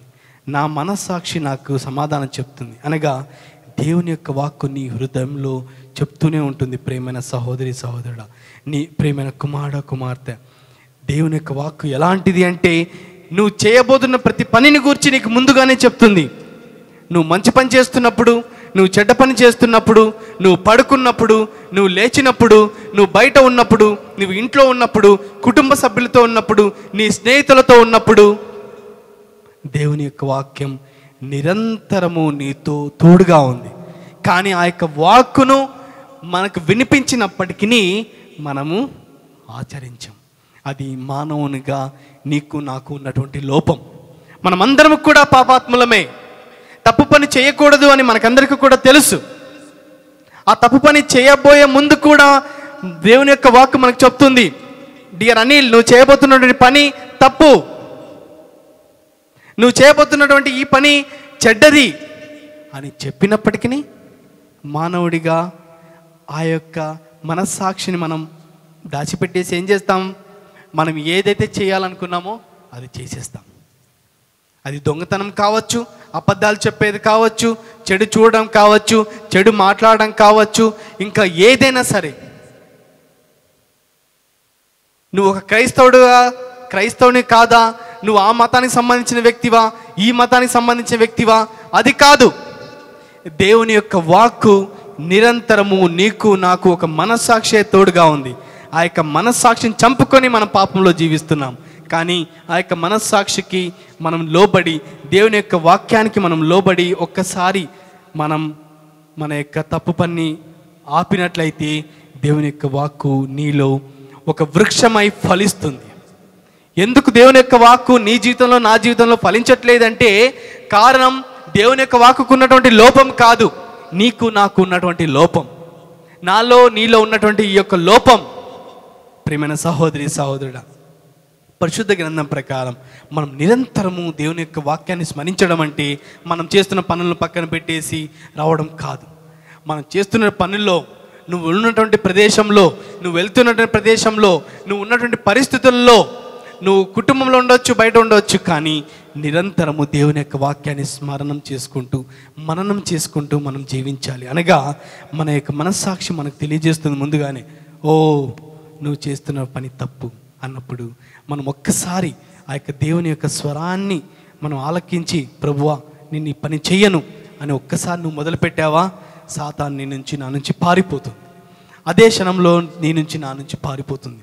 అలాంటి పరిస్థితుల్లో మనకు ఉన్నటువంటి పరిస్థితి ఎలాంటిది అంటే ఇక్కడ దేవుని వాక్కు చెప్తుంది ఇక్కడ సాతాను చెప్తున్నాడు. ఇవి రెండు కూడా రెండిట్లో మధ్యలో మనం నలిగిపోతున్నాం. అలాంటి ప్రదేశంలో నువ్వు దేనికి ప్రాముఖ్యతని ఇస్తావు? సాతానికి ప్రాముఖ్యత ఇస్తావా? దేవునికి ప్రాముఖ్యత ఇస్తావా? సాతాను మాటకు లోబడతావా? దేవుని యొక్క మాటకు లోబడతావా? అందుకని యేసు ప్రభు నీకు నాకు చెప్తున్నాడు. ఆ రోజు సాతాను యేసు ప్రభును ఒక పరీక్ష పెట్టినప్పుడు ఈ యొక్క రాళ్ళను తీసుకొని నువ్వు రొట్టెలుగా మార్చుకొని తిను అన్నప్పుడు యేసు ప్రభు సమాధానం ఇచ్చాడు. నో. మానవుని యొక్క మానవుడు రొట్టె వలన కాదు ఈ యొక్క రాళ్ళ వలన రొట్టెల వలన కాదు దేవుని యొక్క వాక్య వలన జీవిస్తాను అని చెప్తున్నాడు. మరి నువ్వు నేను దేవుని యొక్క వాక్యం ప్రకారం జీవించాలి కానీ ఈ యొక్క సాధారణ మాట ప్రకారం కాదు. సాతాను మనల్ని మబ్బు పెట్టడానికి ఎన్నెన్నో ప్రయత్నాలు చేస్తుంది. No problem. యేసు ప్రభునే మబ్బు పెట్టడానికి ప్రయత్నించింది. ఎలా? ఈ యొక్క రొట్టెని తీసుకుని నువ్వు రొట్టెగా మార్చు. నీకు ఆ శక్తి ఉంది. ఎలా మనల్ని మబ్బు పెడుతుందంటే ఆ యొక్క సాతాను ఎన్నెన్నో ప్రయత్నాలు. దేవుని యొక్క వాక్యాన్ని మన హృదయం నుంచి తీసివేయడానికి ప్రయత్నాలు చేస్తూనే ఉంటుంది. కానీ నువ్వు నేను దేవుని బిడ్డగా మనం నిరంతరం చేయవలసిన పని ఏమిటంటే దేవుని యొక్క వాక్యానికి ప్రాముఖ్యతనియాలి రెండో అంశం. Praise Lord praise the Lord praise the Lord praise the Lord hallelujah hallelujah hallelujah hallelujah మరి మూడవ అంశముగా మూడవ అంశముగా మనం చదువుకుందాం. కీర్తనల గ్రంథం నూట పంతొమ్మిదవ అధ్యాయం పదకొండవ వచనం. ఈరోజు మొదటి పట్టణంలో మనము చదువుకున్నటువంటి అంశాలు. మొదటి పట్టణంలో మనం అందరం కూడా విన్నాం ఎన్నెన్నో అంశాలు. దేవుని యొక్క వాక్యం ఎలాంటిది? దేవుని యొక్క వాక్యాన్ని మనం ఎలా జీవించాలి అనేటువంటి అంశాలు. మరి కీర్తన నూట పంతొమ్మిది పదకొండవ అధ్యాయంలో మనం ఒక విషయాన్ని అర్థం చేసుకుందాం. నేను నీకు ద్రోహముగా పాపం చేయకుండుటకు గాను నీ వాక్యమును నా హృదయమున నిలుపుకుంటుని. నేను ఇంతకుముందే చెప్పాను దేవుని యొక్క వాక్కు మన హృదయంలో నిరంతరము ఉంటుంది. కానీ మనం స్వీకరించాలా లేదా అన్నది నీకు నాకు ఉన్నటువంటి ఒక పెద్ద పరీక్ష. మరి ఇక్కడ ఉన్నటువంటి వాక్యం ఎలాంటిది అంటే దేవుని నుంచి దూరంగా పోకుండా అనగా దుష్టుని జయించడానికి ఆ యొక్క దుష్ట శక్తులని జయించడానికి పాపపు నుంచి దూరంగా ఉండటానికి దేవా నీ వాక్యాన్ని నా హృదయంలో ఉంచండి అని. మరొకసారి చదువుకుందామా అదే వాక్యాన్ని? నేను నీకు ద్రోహముగా పాపము చేయకుండుటకు గాను నీ వాక్యమును నా హృదయమున నిలుపుకుంటుని. దేవుని యొక్క వాక్యాన్ని నా హృదయంలో నీ హృదయంలో నిలుపుకోవాలి అంటే ఆ యొక్క వాక్కు ప్రకారం జీవించాలి అంటే మనం ఏం చేయాలంటే సాతానుని జయించాలి దుష్ట శక్తిని జయించాలి. మరి మూడవ అంశం ఏమిటంటే దేవుని యొక్క వాక్యం ద్వారా సాతానును జయించగలుగుతాం. దేవుని యొక్క వాక్యం ద్వారా మన పాపంలో పడిపోకుండా ఉంటాము అనేటువంటి అంశము. మరి మనకందరికీ తెలుసు ఆదాము అవ్వలు. వారు దేవుడు అంతా కూడా అంత అద్భుతంగా సృష్టించాడు అంతా మంచిగా చేశాడు మంచి గార్డెన్ ఇచ్చాడు తోటనిచ్చాడు వారికి కావాల్సిన ప్రతిదీ కూడా సమకూర్చాడు. సమకూర్చిన తర్వాత వాళ్ళకి ఇచ్చిన చిన్న పరీక్ష ఏమిటంటే ఒక్క చెట్టు పండును మాత్రమే తినొద్దన్నాడు. మిగతా చెట్టు పండు అన్నీ కూడా నువ్వు తినచ్చు. అదొక్కటి వదిలిపెట్టేసేయండి మిగతా అంతా కూడా స్వీకరించండి. No problem. ఈ ఎంటైర్ గార్డెన్ ఇస్ యువర్స్. అక్కడ ఉన్నటువంటి గార్డెన్లో ఉన్న ప్రతిదీ కూడా నీదే. అని ఆదాము అవకు ఇచ్చినప్పుడు దేవుడు చెప్పినటువంటి వాక్కును మాత్రమే పక్కన పెట్టి దేవుడు ఏదైతే చేయొద్దన్నాడో అదే చేయడానికి కారణం ఏమిటంటే దేవుని యొక్క వాక్యాన్ని వాళ్ళు చేయి దేవుని యొక్క వాక్యాన్ని వాళ్ళు ఆలకించలేకపోయారు స్వీకరించలేకపోయారు. ఎవరి వాక్యాన్ని ఆలకించారు అక్కడ? అక్కడ దాగి ఉన్నటువంటి ఆ యొక్క సర్పం యొక్క వాక్కును ఆలకించారు. ఆ యొక్క సర్పం వాళ్ళని ఎలా మోసం చేసిందో ఆది కాండంలో మనం తెలుసు. మనం అందరికీ కూడా చిన్నపిల్లలకు కూడా మనము సండే క్లాస్లో చెప్తూ ఉంటాం. ఆ యొక్క సర్పం ఎలా వారిని వారికి వశం చేసుకుంది? ఆ యొక్క చెట్టు పండును తినేలాగా ఎలా సాతాను? వారిని మబ్బు పెట్టింది అనేటువంటి అంశం. ఎన్నో చెట్లు ఉన్నాయి ఎన్నో ఫలాలు ఉన్నాయి అంతా కూడా దేవుడు సృష్టించిన సృష్టి ఎలాంటిదంటే సృష్టించిన తర్వాత దేవుడే చెప్తున్నాడు దేవుని యొక్క కనులకు ఎంతో బాగుగానో ఉండను కాబట్టి దేవుడు నెక్స్ట్ రోజు మిగతా రోజులు మిగతా సృష్టి మొత్తం చేశాడు. అనగా ఎంతో అద్భుతమైనటువంటి సృష్టి. అవన్నీ కాకుండా ఏదైతే చెయ్యొద్దన్నాడో అదే చేయడానికి కారణం ఏమిటి అంటే దేవుని యొక్క వాక్కు ఒక విషయాన్ని చెప్పింది. సాతాను మాత్రం వారు ఏదైతే చేయకూడదో అదే వారి చేత చేయించింది. Praise praise.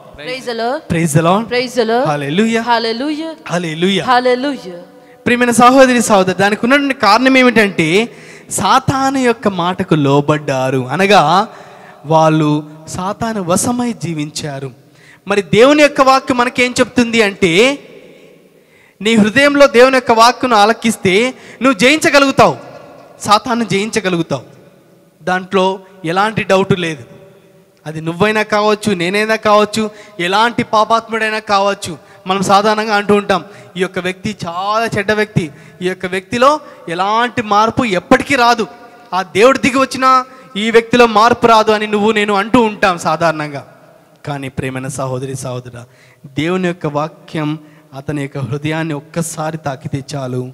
తన యొక్క జీవితం పూర్తిగా మారిపోతుంది. పునీత పౌలు గారి గురించి మనం రాబోతున్న దినములో నేర్చుకుందాం. కానీ మీకు తెలుసు అతను యేసు నమ్మిన ప్రతి ఒక్కరిని కూడా చంపుతూ వస్తున్నాడు. అలాంటి వ్యక్తిని కూడా యేసుక్రీస్తు యొక్క వాక్యముతో జీవాన్ని నింపే వ్యక్తిగా యేసు ప్రభు తను తయారు చేశాడు. కారణం కేవలం ఒకే ఒక్క వాక్యం. దేవుని యొక్క వాక్యం ఒక్కసారి ఆలకించగా ప్రభు ఎవరు నువ్వు? అన్నప్పుడు నువ్వు హింసిస్తున్నటువంటి క్రీస్తును నేనే అని చెప్పాడు. ఆ యొక్క స్వరం తన యొక్క చెవిన పడగానే తన యొక్క జీవితం పూర్తిగా మారిపోయింది. తన యొక్క జీవితం ఒక యూటర్న్ అయిపోయింది. ఇలా వెళ్తున్నటువంటి వ్యక్తి తిరిగి యేసుక్రీస్తు కోసం తన జీవితాన్ని కేటాయించాడు. మరి ప్రియమైన సహోదరి సహోదరుడా నువ్వు నేను సాతాన్ని జయించాలి. నేను జయించలేకపోతున్నాను. పాపంలో మగ్గిపోతున్నాను నా జీతం ఎందుకు ఇలా ఉంది? నాకు ఎందుకు ఇలాంటి చెడు కళలు వస్తున్నాయి? నేను ఎందుకు మంచి పనులు చేయలేకపోతున్నాను? అని ఎన్నోసార్లు మన కౌన్సిలింగ్ దగ్గర కౌన్సిలింగ్ చేయించుకోవడానికి అక్కడెక్కడ వెళ్తూ ఉంటాం. ప్రార్థనలు చేస్తూ ఉంటాం. కానీ దేవుని యొక్క వాక్యాన్ని మన హృదయంలో ఉంచుకుంటే అనగా సాతాను యొక్క స్వరాన్ని నువ్వు పక్కన పెట్టాలి. దేవుని యొక్క స్వరాన్ని నువ్వు ఆలకించాలి. అనగా మంచి నీ హృదయంలో ఉన్నప్పుడు ఆ యొక్క చెడు స్వరాన్ని నువ్వు పక్కన పెడితే మాత్రమే నువ్వు ఆ మంచిని చేయగలుగుతావు. అనగా దేవుని యొక్క వాక్యాన్ని ఆలకించగలుగుతావు. ఆ రోజు ఆదాము అవ్వ ఎందుకు దేవుని యొక్క వాక్యం ప్రకారం జీవించలేకపోయారంటే కేవలం ఒక్క చెట్టు తిన పండు తినద్దన్నాడు. అదే చెట్టు దగ్గర ఉన్నటువంటి పాము స్వరాన్ని విన్నారు. పాపంలో పడిపోయారు. నువ్వు నేను చేసేటువంటి తప్పు కూడా అదే. మన యొక్క మనస్సాక్షిని చంపుకొని జీవిస్తూ ఉంటాం. మనం తప్పును చేస్తూనే ఉంటాం. ఒక రోజు చేశాను ఓకే పర్వాలేదు. రెండో రోజు చేశాను ఓకే మూడో రోజు అది అలవాటు అవుతుంది నాలుగో రోజు దానికి అడిక్ట్ అయిపోతాం. ఐదో రోజు పాపంలో క్రూరుకుపోతాం. సాతాను చేసేటువంటి పని అది. మరి క్రైస్తవుడిగా నువ్వు నేను చేయవలసిన పని ఏమిటంటే దేవుని యొక్క వాక్యాన్ని ఆలకించుదాం. ఈ యొక్క పరిశుద్ధ గ్రంథం మనకి ఏం నేర్పిస్తుందో పరిశుద్ధ గ్రంథం ప్రకారం జీవించడానికి ప్రయత్నిస్తాం. మరి మూడవదిగా మనం నేర్చుకున్నాం దేవు సతాన్ను ఎలా జయించగలుగుతాం దేవుని యొక్క వాక్కు ద్వారా. మరి నాలుగవదిగా ఆ యొక్క సాతాన్ను జయించేటటువంటి శక్తి ఎక్కడ పొందుకొనగలుగుతాం? ఎలా వస్తుంది? అనేటువంటి అంశం గురించి ధ్యానించుకుందాం. హీబులకు రాసిన లేఖ నాలుగవ అధ్యాయము పన్నెండవ వచనం. ఈ యొక్క దేవుని యొక్క వాక్కు ఎలా మనకు తోడ్పడుతుంది? ఈ యొక్క దేవుని యొక్క వాక్కు సాతాన్ను జయించాలి అని చెప్పుకున్నాం. మూడో అంశముగా. మన నాలుగో అంశముగా ఎలా జయించగలుగుతాం? ఆ యొక్క వాక్కు ద్వారా మనకి ఎలా శక్తి లభిస్తుంది అనే అంశం మీద మనం ధ్యానించబోతున్నాం. హీబ్రిలకు రాసిన లేఖ నాలుగవ అధ్యాయము పన్నెండవ వచనము. దేవుని వాక్కు సజీవమును చైతన్యవంతమైనది. అది కత్తి రెండంచుల కంటే పదునైనది. జీవాత్మల సంయోగ స్థానం వరకును కీళ్ళు మధ్య కలిగే వరకును అది ఛేదించుకుని పోగలదు. మానవుల హృదయములందలి ఆశలను ఆలోచనలను అది వీక్షింపగలదు. Praise the Lord. Praise the Lord. Hallelujah. Hallelujah Hallelujah. ప్రియమైన సహోదరి సహోదరు ఇంతవరకు దేవుని యొక్క వాక్యం గురించి ఆలోచించాం. కానీ ఇప్పుడు ధ్యానించబోతున్నాం ఆ యొక్క దేవుని వాక్కు ఎంత శక్తి గలది? అది మనకు సాతాన్ని జయించడానికి ఎలా సహాయపడుతుంది? అనేటువంటి అంశం.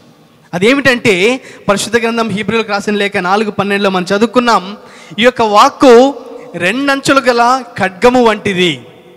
ఆ యొక్క ఖడ్గము ఎలాంటిది అంటే నువ్వు ఒక రాజువా ఒక సేవకుడివా ఒక దాసత్వంలో జీవిస్తున్న వ్యక్తివా అని చూడదు. ఆ యొక్క ఖడ్గం నిన్ను నన్ను తాకితే కేవలం అది మనల్ని రెండు ముక్కలుగా చేసి వేస్తుంది. ఆ యొక్క ఖడ్గం ఎలాంటిది అంటే నిన్ను నన్ను రెండు ముక్కలుగా చీల్చివేయగలదు. ఆ యొక్క వాక్యం ఎలాంటిది అంటే మన యొక్క శరీరంలో ఉన్నటువంటి ప్రతి ఒక్క అవయవంలోని ఉన్నటువంటి ప్రతి ఒక్క భాగంలో కూడా దూసుకెళ్ళగలదు. అనగా ఆ యొక్క వాక్యం ప్రకారం మనం జీవించగలిగితే ఆ వాక్యాన్ని ఆచరించగలిగితే స్వీకరించగలిగితే ఆలకించగలిగితే ఆ యొక్క వాక్కు మన హృదయంలోనికి మాత్రమే కాకుండా మన శరీరంలో ఉన్నటువంటి ప్రతి ఒక్క అవయంలోనికి దోసుకొని వెళ్ళిపోతుంది. అనగా అర్థం ఏమిటంటే ఒక్కసారి ఆ యొక్క వాక్యం నీ జీవితాన్ని నా జీవితాన్ని మార్చివేసింది అంటే నిన్ను నన్ను మరొకసారి ఎవరు కూడా మార్చివేయలేరు. దేవుని యొక్క వాక్యంలోకి మార్గంలోకి ఒక్కసారి నువ్వు నడవగలిగితే ఆ యొక్క వాక్కు నిన్ను నన్ను నిరంతరము కూడా దేవుని వైపు దృష్టి ఉంచి జీవించగలిగే వ్యక్తులుగా మారుస్తుంది. ప్రైజ్. Hallelujah Hallelujah. మరి నువ్వు నేను ధ్యానించుకున్నాం. ఎలా జయించాలి? దేవుని యొక్క- ఆ యొక్క సాతాన్ని జయించాలి అంటే నువ్వు నేను కష్టపడిన అవసరం లేదు. ఆ యొక్క దేవుని యొక్క వాక్యాన్ని స్వరాన్ని ఆలకించి దేవుని యొక్క వాక్యాన్ని పాటించి మననం చేయగలిగితే అది నిన్ను సన్మార్గంలో నడిపిస్తుంది. నీకు తెలియకుండానే నువ్వు ఒక మంచి వ్యక్తిగా తయారవుతావు. నిన్ను చూస్తున్నటువంటి వ్యక్తులందరూ కూడా అంటారు ఈ యొక్క వ్యక్తి ఇంతవరకు ఇలా ఉన్నాడే కానీ ఎందుకు ఇలా మారిపోయాడు? ఒక మంచి వ్యక్తిగా ఎలా మారగలిగాడు? చాలామందికి మనం మన యొక్క జీవితంలో ఉన్నటువంటి ఒక ఉదాహరణ పరిశీలించుకుందాం. కొంతమంది వ్యక్తులు ఎలా ఎలా ఉంటారు అంటే నువ్వు ఎవరి దగ్గరికన్నా తీసుకువెళ్ళు. ఎవరి మాట వినరు. తల్లిదండ్రులు చెప్తారు. కుటుంబ సభ్యులు చెప్తారు. బంధుమిత్రులు చెప్తారు. సంఘ పెద్దలు చెప్తారు. ఊరి పెద్దలు చెప్తారు. సమాజంలో ఉన్నటువంటి వ్యక్తులు చెప్తారు. పోలీసులు చెప్తారు. ఎవరు చెప్పినా కొంతమంది మారరు. నేను ఎవరి మాట వినను అనేటువంటి ఒక దృఢమైనటువంటి ఆలోచనలతో కొంతమంది జీవిస్తుంటారు. అలాంటి వ్యక్తులు కూడా దేవుని యొక్క వాక్యం ఒక్కసారి తనను తాకిన ఎడల తన జీవితం పూర్తిగా మారిపోతుంది. పునీత పౌలు గారు మనకున్నటువంటి ఒక గొప్ప ఉదాహరణ. ఎవరిని లెక్క చేయకుండా ఎవరి జీవితాన్ని పట్టించుకోకుండా తన యొక్క భవిష్యత్తును పట్టించుకోకుండా తను ఒక నిర్ణయం తీసుకున్నాడు. ఆ యొక్క నిర్ణయం ఏమిటంటే యేసు ప్రభుని నమ్మిన ప్రతి ఒక్కరిని కూడా చంపేస్తాను. ఊరి ఊరికి వెళ్ళి చంపడానికి సిద్ధమయ్యాడు. అదే పరిస్థితుల్లో డమాస్కస్కు వెళ్తున్నటువంటి మార్గములో తన యొక్క జీవితం మారిపోయింది కారణం దేవుని యొక్క స్వరాన్ని ఆలకించాడు. దేవుని యొక్క వాక్యం తనను తాకింది తన జీవితాన్ని తాకింది తన హృదయాన్ని తాకింది మారిపోయాడు. పూర్తిగా మారిపోయాడు.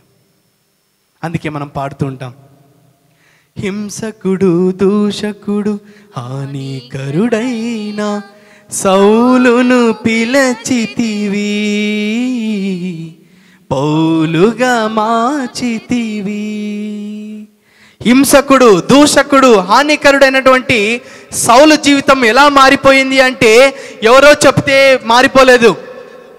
అతనికి ఉన్నటువంటి గొప్పవాళ్ళు పెద్దవాళ్ళు సంఘ పెద్దలు సమాజంలో ఉన్నటువంటి వ్యక్తులు చెప్తే వినలేదు. రాజులు చెప్తే వినలేదు. కానీ దేవుని యొక్క వాక్కు ఒక్కసారి తనని తాకింది తన యొక్క జీవితం మారిపోయింది. తన యొక్క జీవితం ఒక నూతన జీవితం అయిపోయింది. ఇప్పుడు సౌలు కాదు ఇప్పుడు అతను పౌలు. అంత గొప్ప మార్పు కేవలం దేవుని యొక్క వాక్కు వాళ్ళను మాత్రమే కలుగుతుంది అనగా దేవుని యొక్క వాక్కు నిన్ను నన్ను ఖండించగలదు. దేవుని యొక్క వాక్కు నిన్ను నన్ను రెండు ముక్కలుగా చీల్చివేయగలదు అనగా దేవుని యొక్క వాక్ మనం చదివేటప్పుడు మన యొక్క పాపపు స్వభావం మనకు కనిపిస్తూ ఉంటుంది. మన యొక్క పాప స్వభావం మన కళ్ళ ఎదుట ఉంటుంది. అందుకని కీర్తనకారుడు చెప్తూ ఉంటాడు నీ యొక్క వాక్యం నా పాదములకు దీపము. అది నాకు వెలుగై నా ముందు ఉంది. అనగా దేవుని వాక్యం ఎలాంటిది అంటే అది ఒక ప్రకాశవంతమైనది. ఆ యొక్క వాక్యం చదువుతున్నప్పుడు మనలో మన జీవితంలో ఉన్నటువంటి పాపము మనకి ఎలా కనిపిస్తుందంటే మనకు వెనకలు ఉన్నటువంటి ఒక నీడలా కనిపిస్తూనే ఉంటుంది. ఆ యొక్క వాక్కు లేనప్పుడు ఎలా ఉంటుంది మన జీవితం? నాలో ఉన్నటువంటి పాప జీవితం మంచి జీవితం అంతా కూడా అక్కడే ఉంటుంది. ఎప్పుడైతే దేవుని యొక్క స్వరాన్ని నువ్వు చూడగలుగుతావో దేవుని యొక్క వాక్యం యొక్క వెలుతురు నీ మీద నా మీద పడుతుందో అప్పుడు నేను ఇలాగనే ఉంటాను కానీ నా పాపపు జీవితం ఎలా ఉంటుంది?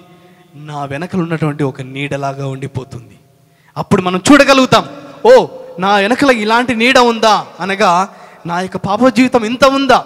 అంతవరకు నిన్ను నేను సమర్థించుకుంటూ ఉంటాం. సమాజం చెప్పినా ఎందుకు ఇలా చేస్తున్నావు? అని చెప్పినా లేదు నేను చేసే పని కరెక్ట్ నాకు తెలుసు. నీకు నాకున్నటువంటి ఈగో అహంకారం ఇది. అది ఎవరికైనా ఉంటుంది. కానీ దేవుని యొక్క వాక్కు నీ మీద నా మీద నా మీద ప్రకాశించినప్పుడు నా పాప స్వభావం నాకు కనిపిస్తుంది.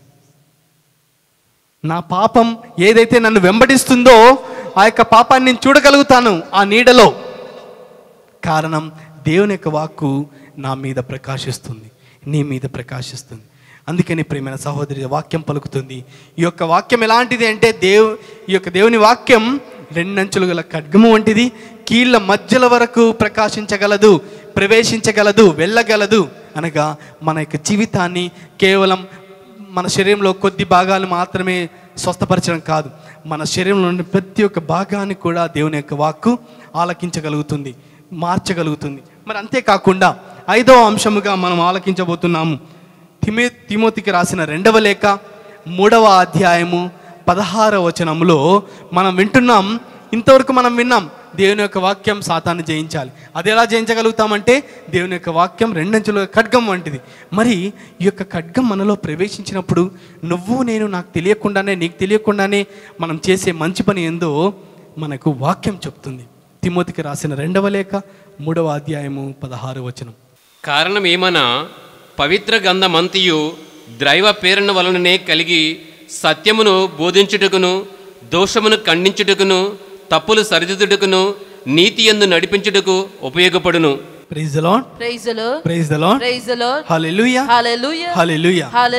మరి ఐదో అంశముగా మనం ధ్యానిస్తున్నాం ప్రేమ సహోదరి సహోదరుడా ఈ యొక్క పరిశుద్ధ గ్రంథం అంతా కూడా దేవుని యొక్క ప్రేరేపణ చేత కలిగినటువంటి వాక్యములు దేవుని యొక్క ప్రేరేపణ చేత రాయబడినటువంటి వాక్కులు అని ఈ పరిశుద్ధిగా నేర్పిస్తుంది ఆ తర్వాత ఒక్కొక్క అంశం ఏమిటంటే మొట్టమొదటిది తప్పులను సరిదిద్దుటకును రెండవది చదవండి. పవిత్ర గ్రంథమంతయు దైవ ప్రేరణ వలనే కలిగి సత్యమును బోధించుటకును సత్యం బోధించుటకును దోషమును ఖండించుటకును దోషమును ఖండించుటకును తప్పులు సరిదిద్దుటకును తప్పులు సరిదిద్దుటకును నీతి ఎందు నడిపించుటకును నీతి ఎందు నడిపించుటకును ఉపయోగపడును. ఉపయోగపడును.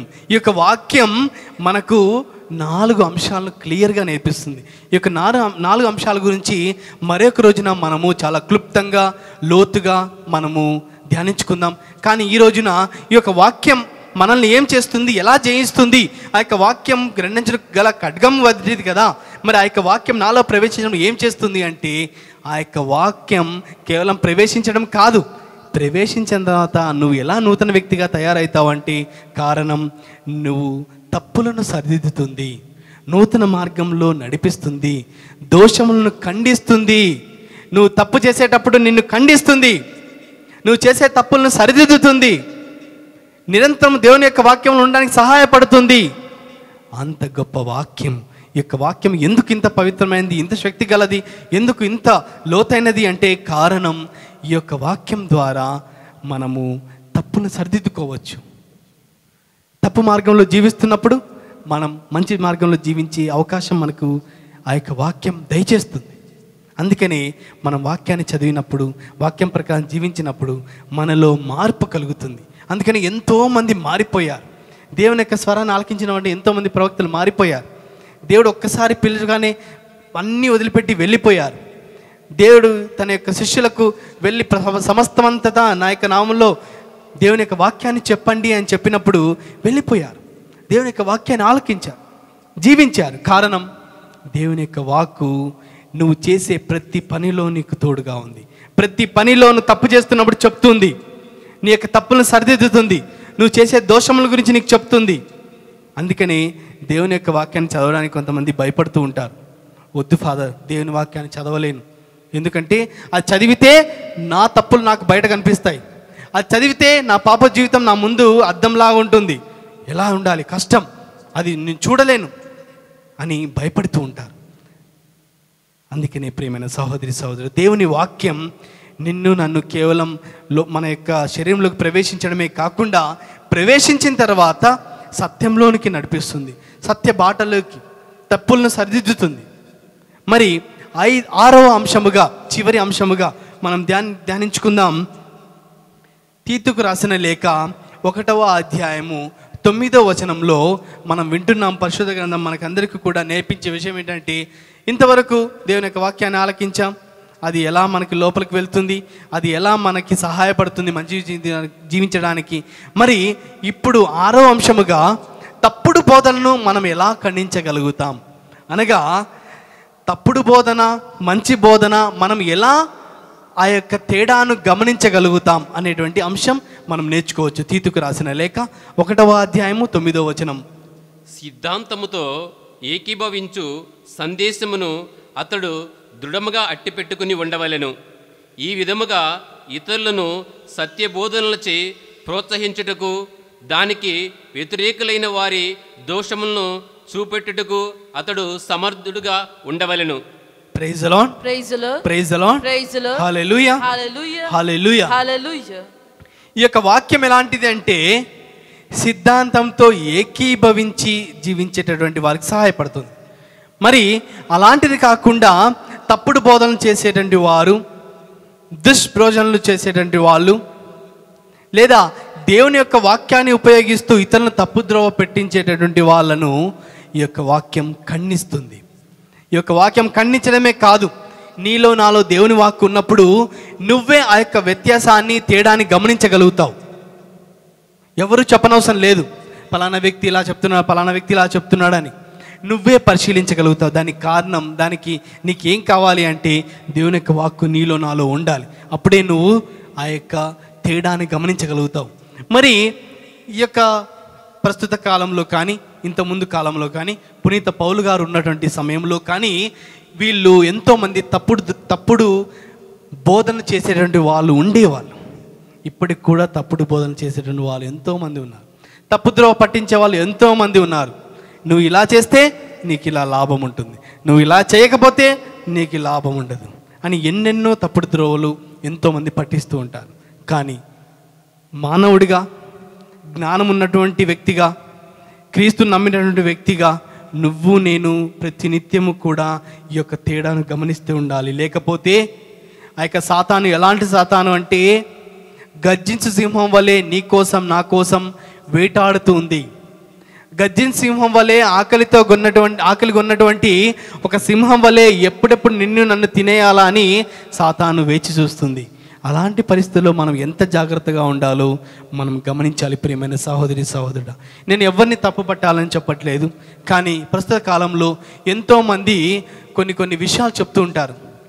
ఈ యొక్క హ్యాండ్ కర్చీఫ్ను నువ్వు నీ కర్చీఫ్లో నీ యొక్క పాకెట్లో పెట్టుకుంటే దేవుడు అద్భుతాలు చేస్తాడు. ఈ యొక్క హ్యాండ్ కర్చీఫ్ కొనండి ఇంటికి వెళ్ళి ఇంట్లో పెట్టుకోండి మీ కుటుంబంలో అద్భుతాలు జరుగుతాయి.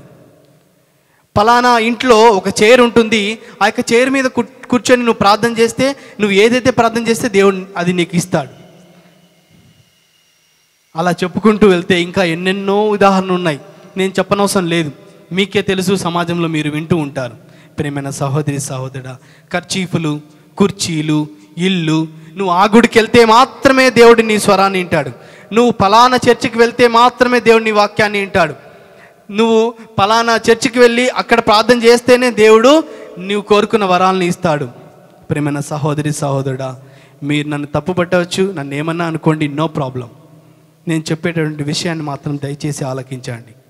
దిస్ ఈజ్ అబ్సల్యూట్లీ రాంగ్ వారు చెప్పేటటువంటి విషయాలను వినండి నో ప్రాబ్లం బట్ వారు చెప్పేటటువంటి విషయాల్లో నిజమైన సత్యం ఉందా లేదా అని ఒక్కసారి ఆత్మ పరిశీలన చేసుకోండి. దేవుని యొక్క వాక్కు నిన్ను సత్యం వైపు నడిపిస్తుందా లేదా దుర్మార్గం వైపు నడిపిస్తుందా ఆత్మ పరిశీలన చేయండి. నేను వచ్చి అక్కడ చెప్పలేను. నువ్వు వచ్చి నాకు చెప్పలేవు. కానీ మనమందరం కూడా మన యొక్క మెదడును ఉపయోగించి మన యొక్క జీవితాన్ని పరిశీలించి ఒక్కసారి ధ్యానించాలి. లేకపోతే మనము కూడా ఇతరుల వలె దుర్మార్గంలోకి వెళ్ళినటువంటి వ్యక్తులుగా పరిగణించబడతాం.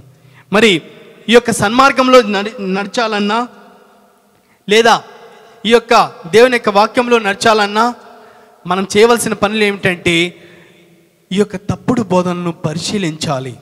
వారు చేస్తున్న బోధనలు ఎలా ఉంటాయి అంటే మన మనసుకు నోటికి చాలా తీపికరంగా ఉండొచ్చు.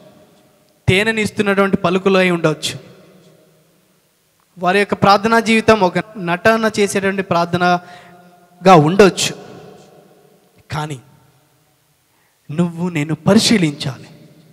ఎందుకంటే దేవుని యొక్క వాక్కు నీలో నాలో ఉన్నప్పుడు అది నీకు సహాయం చేస్తుంది. ఎలా సహాయం చేస్తుంది అంటే సన్మార్గంలో జీవించడానికి దోషములను సరిదిద్దుకోవడానికి తప్పుడు బోధనలను కనిపెట్టడానికి దేవుని యొక్క వాక్కు నీకు నాకు సహాయం చేస్తుంది. కానీ ఆ యొక్క సహాయాన్ని మనం పొందుకుంటున్నామా లేదా అని ధ్యానించాలి. అంతేకాకుండా ఇది చెప్తున్నటువంటి యొక్క మాటలన్నీ కూడా ఒకసారి గమనించాలి. ఎంతోమంది ఇలా చెప్తుంటారు. ఆ చర్చికి వెళ్ళొద్దండి. ఆ చర్చిలో దేవుడు లేడు. ఈ చర్చిలో దేవుడు ఉన్నాడు. ఈ చర్చిలో ఆడ ఉంది నువ్వు ఆ నీళ్ళు తాగితే నీకు అద్భుతం కలుగుతుంది. నువ్వు ఈ ఖర్చు పట్టుకుంటే అద్భుతం కలుగుతుంది. నువ్వు ఆ చైర్ మీద కూర్చో నీకు దేవుని వాక్కు వినిపిస్తుంది. ప్రేమైన సహోదరి సహోదరుడా మోసపోకండి. దేవుని యొక్క వాక్యం నువ్వు ఆ చర్చికి వెళ్తే ఈ మందిరానికి వెళ్తే ఇక్కడ వెళ్తే అక్కడ వెళ్తే కాదు. ఆ యొక్క ఫాదర్ దగ్గరికి వెళ్తే ఈ యొక్క ఫాదర్ దగ్గరికి వెళ్తే ఆ యొక్క పాస్టర్ దగ్గరికి వెళ్తే అమ్మగారి దగ్గరికి వెళ్తే వచ్చేది కాదు. దేవుని యొక్క వాక్కు నీకు నిజంగా కావాలి అంటే నువ్వు సొంతంగా దేవుని యొక్క వాక్యాన్ని హృదయంలో ఉంచుకో మొట్టమొదటిగా. ఆ తర్వాత అది నీకు సహాయం చేస్తుంది. నువ్వు ఎలాంటి జీవితం జీవించాలి? ఎవరు చెప్పే మాటలు వినాలి? ఆ ఫాదర్ గారు చెప్పే మాటలు మాత్రమే దేవుని యొక్క వాక్యం మాత్రం కాదు. ఈ ఫాదర్ చెప్పేటువంటి మాటలు మాత్రమే కాదు. ప్రతి ఒక్కరు చెప్పేది దేవుని యొక్క వాక్కు మాత్రమే.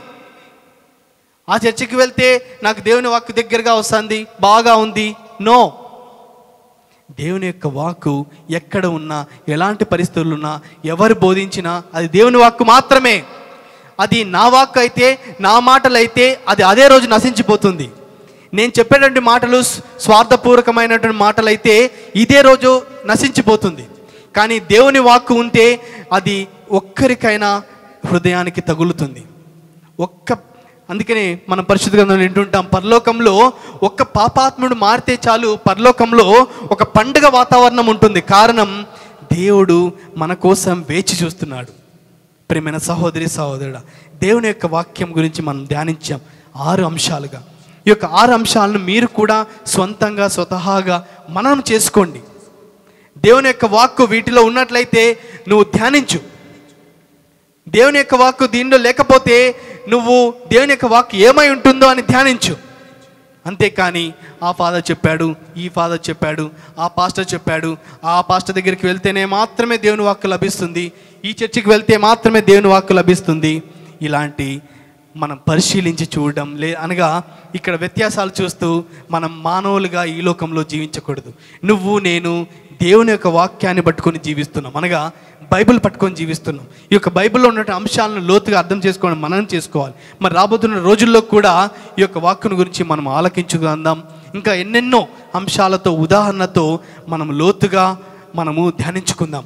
మరి మరొకసారి ఒక రెండు నిమిషాల్లో మనం చేసినటువంటి ఈరోజు ధ్యానాంశము ఈ యొక్క దేవుని యొక్క వాక్కు మన యొక్క జీవితాన్ని ఎలా మారుస్తుంది అంటే మొట్టమొదటిగా మనం నేర్చుకున్నాం ఒక మంచి క్రైస్తవ జీవితాన్ని జీవించడానికి సహాయపడుతుంది. యోహాన్ రాసిన మొదటి లేక రెండవ అధ్యాయం పద్నాలుగో వచ్చిన మళ్ళీ అలాగే ఎలా సహాయపడుతుందంటే మనము పగలు రాత్రి అని తేడా లేకుండా నిరంతరం మన మనస్సాక్షితో మనం దేవుని యొక్క వాక్యాన్ని మనం చేసుకున్నప్పుడు దేవుని యొక్క వాక్కు మనకు తోడుగా ఉంటుంది. యోహోశివ ఒకటి ఎనిమిది. మరి అలాగే ఈ యొక్క వాక్కు పాపంలో పడిపోకుండా మనకు సహాయం పడుతుంది. మనం చదువుకున్నాం కీర్తన నూట పంతొమ్మిది పదకొండవ అధ్యాయం. మరి నాలుగో అంశముగా ఆ యొక్క సాతాన్ని ఎలా జయించగలుగుతాం? దృష్టిని ఎలా జయి జయించగలుగుతాం? అనగా హీబ్రోలకు రాసిన లేక నాలుగో అధ్యాయం పన్నెండవ వచనంలో మనము ధ్యానించుకుందాం. మరి ఐదవదిగా తిమోతికి రాసిన రెండవ లేక మూడవ అధ్యాయం పదహారవ వచనంలో మనం నేర్చుకున్న తప్పులు సరిదిద్దుటకు సన్మార్గంలో నివసించుటకు అలాగే ఈ వాక్యం అంతా దేవుని ప్రేరేపణ చేత ఉం- ఉంచబడింది అని ధ్యానించుకుందాం. మరి ఆరవదిగా తప్పుడు ద్రౌ తప్పుడు ప్రచారాలను తప్పుడు అంశాలను తప్పుడు బోధకులను మనం ఎలా గమనించగలుగుతాం అనేటువంటి అంశాలను కూడా మనం నేర్చుకున్నాం.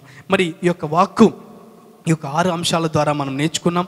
మనం ఇంకా ఎంతగా లోతుగా దేవుని యొక్క మార్గంలో జీవించాలి అనేటువంటి అంశాలు మీరు పరిశీలించాలంటే ఈ యొక్క వా వచనాలను మరొకసారి చదివి మీరు ధ్యానించుకోవడానికి ప్రయత్నం చేయండి. ఈ యొక్క వాక్కును దేవుడు ఆశీర్వదించునుగాక. గాక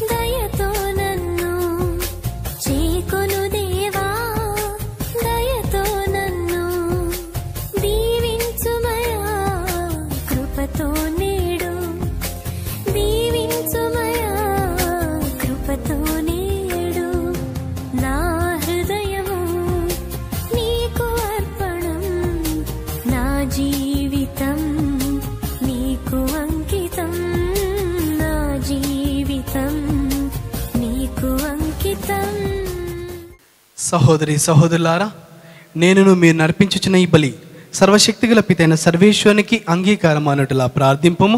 ప్రభువు తన నామస్తుతి మహిమల కొరకును మన ప్రయోజనము కొరకును తన పవిత్ర శ్రీ సభ ప్రయోజనము కొరకును మీ కర్మల ద్వారా ఈ బలిని స్వీకరించునుగాక. ఓ ప్రభువా నీకు మొరపెట్టుకొనుచు సమర్పించుచున్న నీ శ్రీ సభ అర్పణములను దయతో వీక్షింపుము. ఈ అర్పణములను ఆహారముగా భుజించు నీ విశ్వాసులకు పవిత్రంలో మరింత వృద్ధిని దయచేయము. మా ప్రభు అయిన క్రీస్తు ద్వారా ఈ మనవి చేయుచున్నాము. ఆమె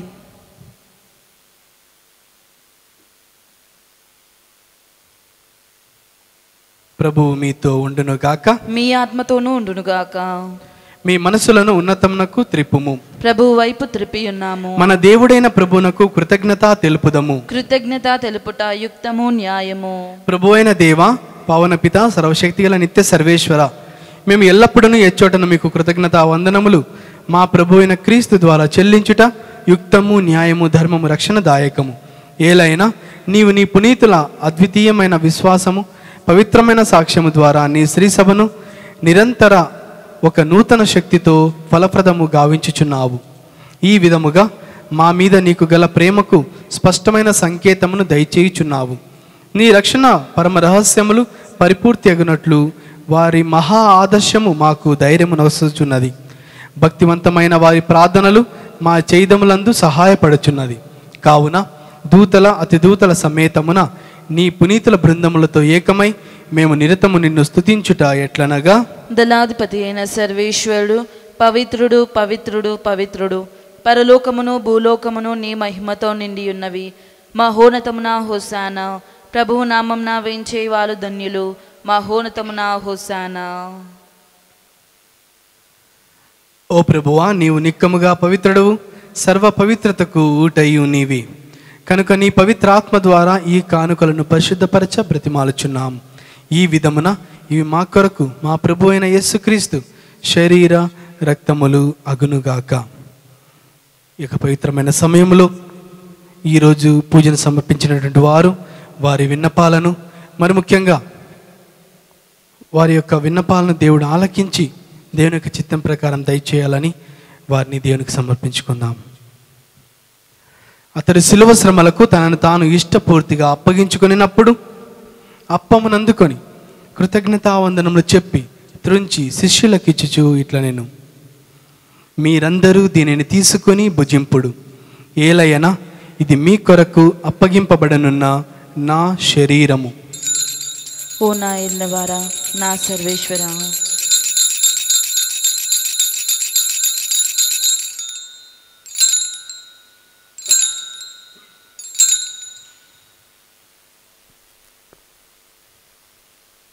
ఆ విధముననే భోజనానంతరము పాత్రమునందుకొని మరలా మీకు కృతజ్ఞత వందనము చెప్పి శిష్యులకిచ్చుచు ఇట్లా నేను మీరందరూ దీనిని తీసుకొని దీని నుండి పానము చేయుడు. ఏలయన ఇది నూతన నిత్య నిబంధన యొక్క నా రక్తపు పాత్రము. ఇది మీ కొరకును అనేకుల కొరకును పాప పరిహారమునకై ధారవోయబడు దీనిని నా జ్ఞాపకార్థము చేయుడు. ఓ నా నా సర్వేశ్వరా.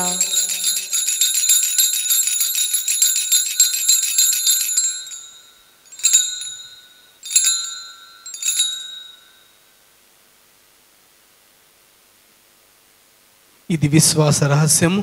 ప్రభువా మేము నీ మరణమును ప్రకటించుదము నీ ఉత్థానమును చాటెదము నీవు మరలా వచ్చే వరకు వేచియుందుము.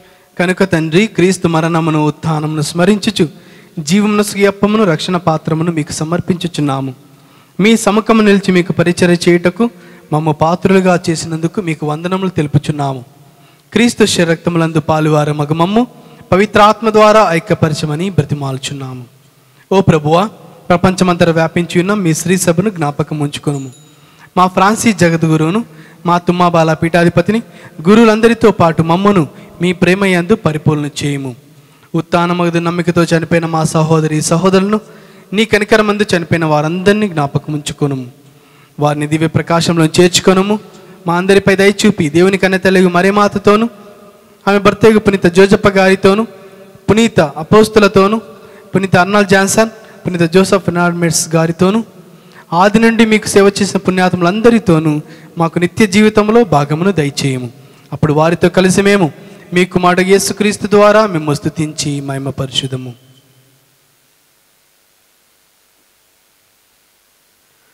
క్రీస్తు ద్వారా క్రీస్తుతో క్రీస్తునందు సర్వశక్తి గల పిత అయిన సర్వేశ్వరా.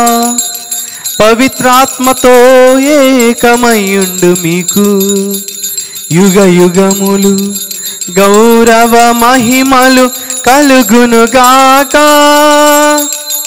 గౌరవ మహిమలు కలుగునుగాక.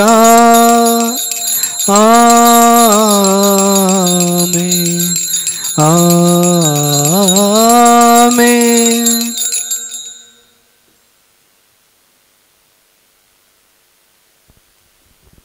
మన రక్షకుడు నేర్పించినటువంటి పరలోక ప్రార్థనను భక్తితో ప్రార్థింప సాహసింతము. పరలోకమందున మా యొక్క తండ్రి మీ నామం పూజింపబడుగాక మీ రాజ్యం వచ్చునుగాక మీ చిత్తం పరలోకమందు నెరవేరినట్లు భూలోకమందును నెరవేరునుగాక. నానాటికి కావలసిన మా అన్నము మాకు నేటికి అనుగ్రహింపుము. మా యుద్ధ అపబడిన వారిని మేము మన్నించినట్లు మా అప్పులను మీరు మన్నింపుము. మమ్ము శోధన ఎందు ప్రవేశింపనివ్వక కీర్లో నుండి మమ్ము రక్షింపుము. ప్రభువా అన్ని కీడులను మమ్మ రక్షింపము. మా ఈ రోజుల్లో మాకు శాంతిని ప్రసాదింపుము. మీ దయానుగ్రహం వలన పాపము నుండి మమ్మ విముక్తులను చేసి అన్ని కలతల నుండి సర్వదా కాపాడుము. మేము మోక్షానందమును మా రక్షకుడైన యేసుక్రీస్తు ఆగమమును నిరీక్షించుచుందుము. ఏలైనా నిరంతరము మీదే రాజ్యము మీదే అధికారము మీదే మహిమ. శాంతిని మీకు అనుగ్రహించుచున్నాను నా శాంతిని మీకు ఇచ్చుచున్నాను అని మీ అపోస్తులతో వచ్చించిన ప్రభు అయిన యేసువ మా పాపములు లెక్కింపక మీ శ్రీ సభ విశ్వాసమును వీక్షింపుము. మీ చిత్త ప్రకారము మీ సభకు శాంతిని ఐక్యమును అనుగ్రహింపుము. యుగ యుగములు జీవించుచు పరిపాలించు ప్రభువా. ఆమె ప్రభుని శాంతి ఎల్లప్పుడు మీతో ఉండునుగాక మీ ఆత్మతోనూ ఉండునుగాక ఒకరికొకరు సమాధానము తెలుపుకొందము.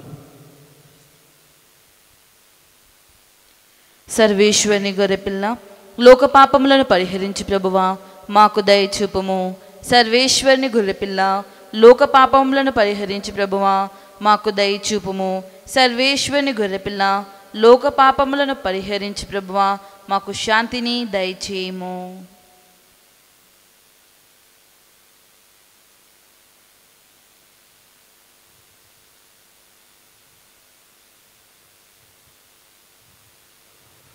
ఇదిగో సర్వేశ్వని గొర్రెపిల్ల ఇదిగో లోకము యొక్క పాపములను పరిహరించు ప్రభు. ఈ యొక్క గొర్రె పిల్ల ఎందుకు పిలువబడిన వారు ధన్యులు? ప్రభువా మీరు నా ఇంట ప్రవేశించుటకు నేను పాత్రురాలను కాను. కానీ నీవు ఒక్క మాట పలికిన నా ఆత్మ స్వస్థత పొందును. క్రీస్తు శరక్తంలో నిత్య జీవనకు మనల్ని కాపాడును గాక. ఆమె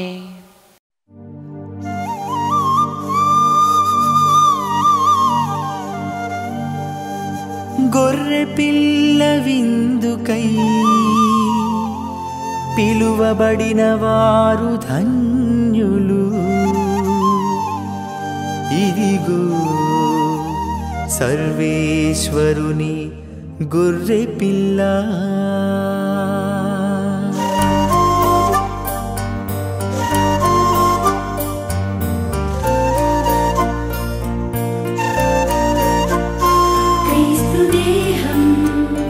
మనకు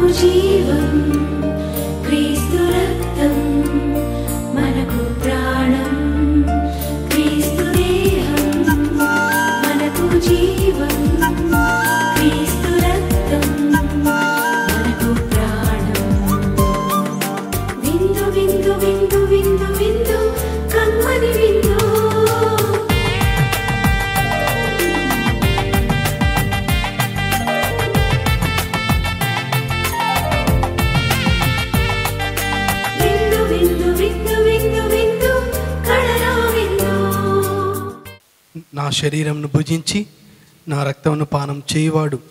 నా యందు నేను వాని యందు ఉందును అని ప్రభు నుడుచున్నాడు. ప్రైజ్ హాలెలూయా హాలెలూయ క్రీస్తునాథునిందు ప్రియ సహోదరి సహోదరారా మీరందరూ కూడా దేవుని వాక్యాన్ని ఆలకించుండగా దేవుని వాక్కు మీరు మిమ్మల్ని మీ యొక్క కుటుంబాన్ని దీవించాలని మేమందరం కూడా ప్రార్థన చేస్తున్నాము. అదే విధముగా మేము ఈ యొక్క యూట్యూబ్ ఛానల్ ద్వారా చేస్తున్నటువంటి ఈ యొక్క దివ్యబలి పూజ వాక్య పరిచర్య అంతా కూడా ఇంకా ఎంతోమంది హృదయాలను ఆకట్టుకోవాలని దేవుని యొక్క వాక్యాన్ని ఆలకించి వారి యొక్క జీవితాల అభివృద్ధిలో నడవాలనేటువంటి ఉద్దేశంతో మీరందరూ కూడా మా కోసం ప్రార్థన చేయగలరని మీరందరూ కూడా మీ యొక్క కుటుంబ ప్రార్థనలో ఫాదర్ బెన్ని గారిని అలాగే నన్ను ఇక్కడ ఉన్నటువంటి టీం వ్యక్తులందరినీ కూడా దీవించాలని మీరు ప్రత్యేకంగా ప్రార్థన చేయండి. అదే విధముగా ఈ యొక్క ప్రోగ్రాం ఇంకా ముందు కొనసాగడానికి దేవుని దేవుడు మీకు ప్రేరేపణ కలిగించినట్లయితే మీ యొక్క సహాయాన్ని మాకు అందించగలని మేము కోరుతున్నాము. అలాగే మీ యొక్క విన్నపాలను కానీ దివ్య బలి పూజను సమర్పించాలన్నా కింద ఇచ్చినటువంటి ఆ యొక్క నెంబర్కు మీరు ఫోన్ చేసి కాంటాక్ట్ చేసినట్లయితే మీ యొక్క విన్నపాలను అలాగే మీ యొక్క ఉద్దేశాలను దేవునికి సమర్పిస్తూ మేము మీకోసం దివ్యబల పూజలో ప్రార్థన చేసే అవకాశాన్ని కలిగించినటువంటి అవకాశం మాకు లభిస్తుంది. ప్రార్థించుదము. ఓ ప్రభువా నీవు ఏర్పాటు చేసిన ఈ పరమ వరములను సేవించి ప్రార్థించుచున్నాము. ఈ పరమ రహస్యంలో పాల్గొనిన మా యందు దీని రక్షణదాయక ప్రభావము అధికమగునుగాక. మా ప్రభు అయిన క్రీస్తు ద్వారా ఈ మనవి చేయుచున్నాము. ఆమెన్ ప్రభువు మీతో ఉండునుగాక. మీ ఆత్మతోనూ ఉండునుగాక. సర్వశక్తి గల సర్వేశ్వరుడు పిత పుత్ర పవిత్ర ఆత్మదేవుడు మనందరినీ ఆశీర్వదించి కాచి కాపాడుదురుగాక. ఆమెన్ సమాధానముతో వెళ్ళి క్రీస్తు ప్రేమలో సేవలో జీవించండి. సర్వేశ్వరునికి వందనములు.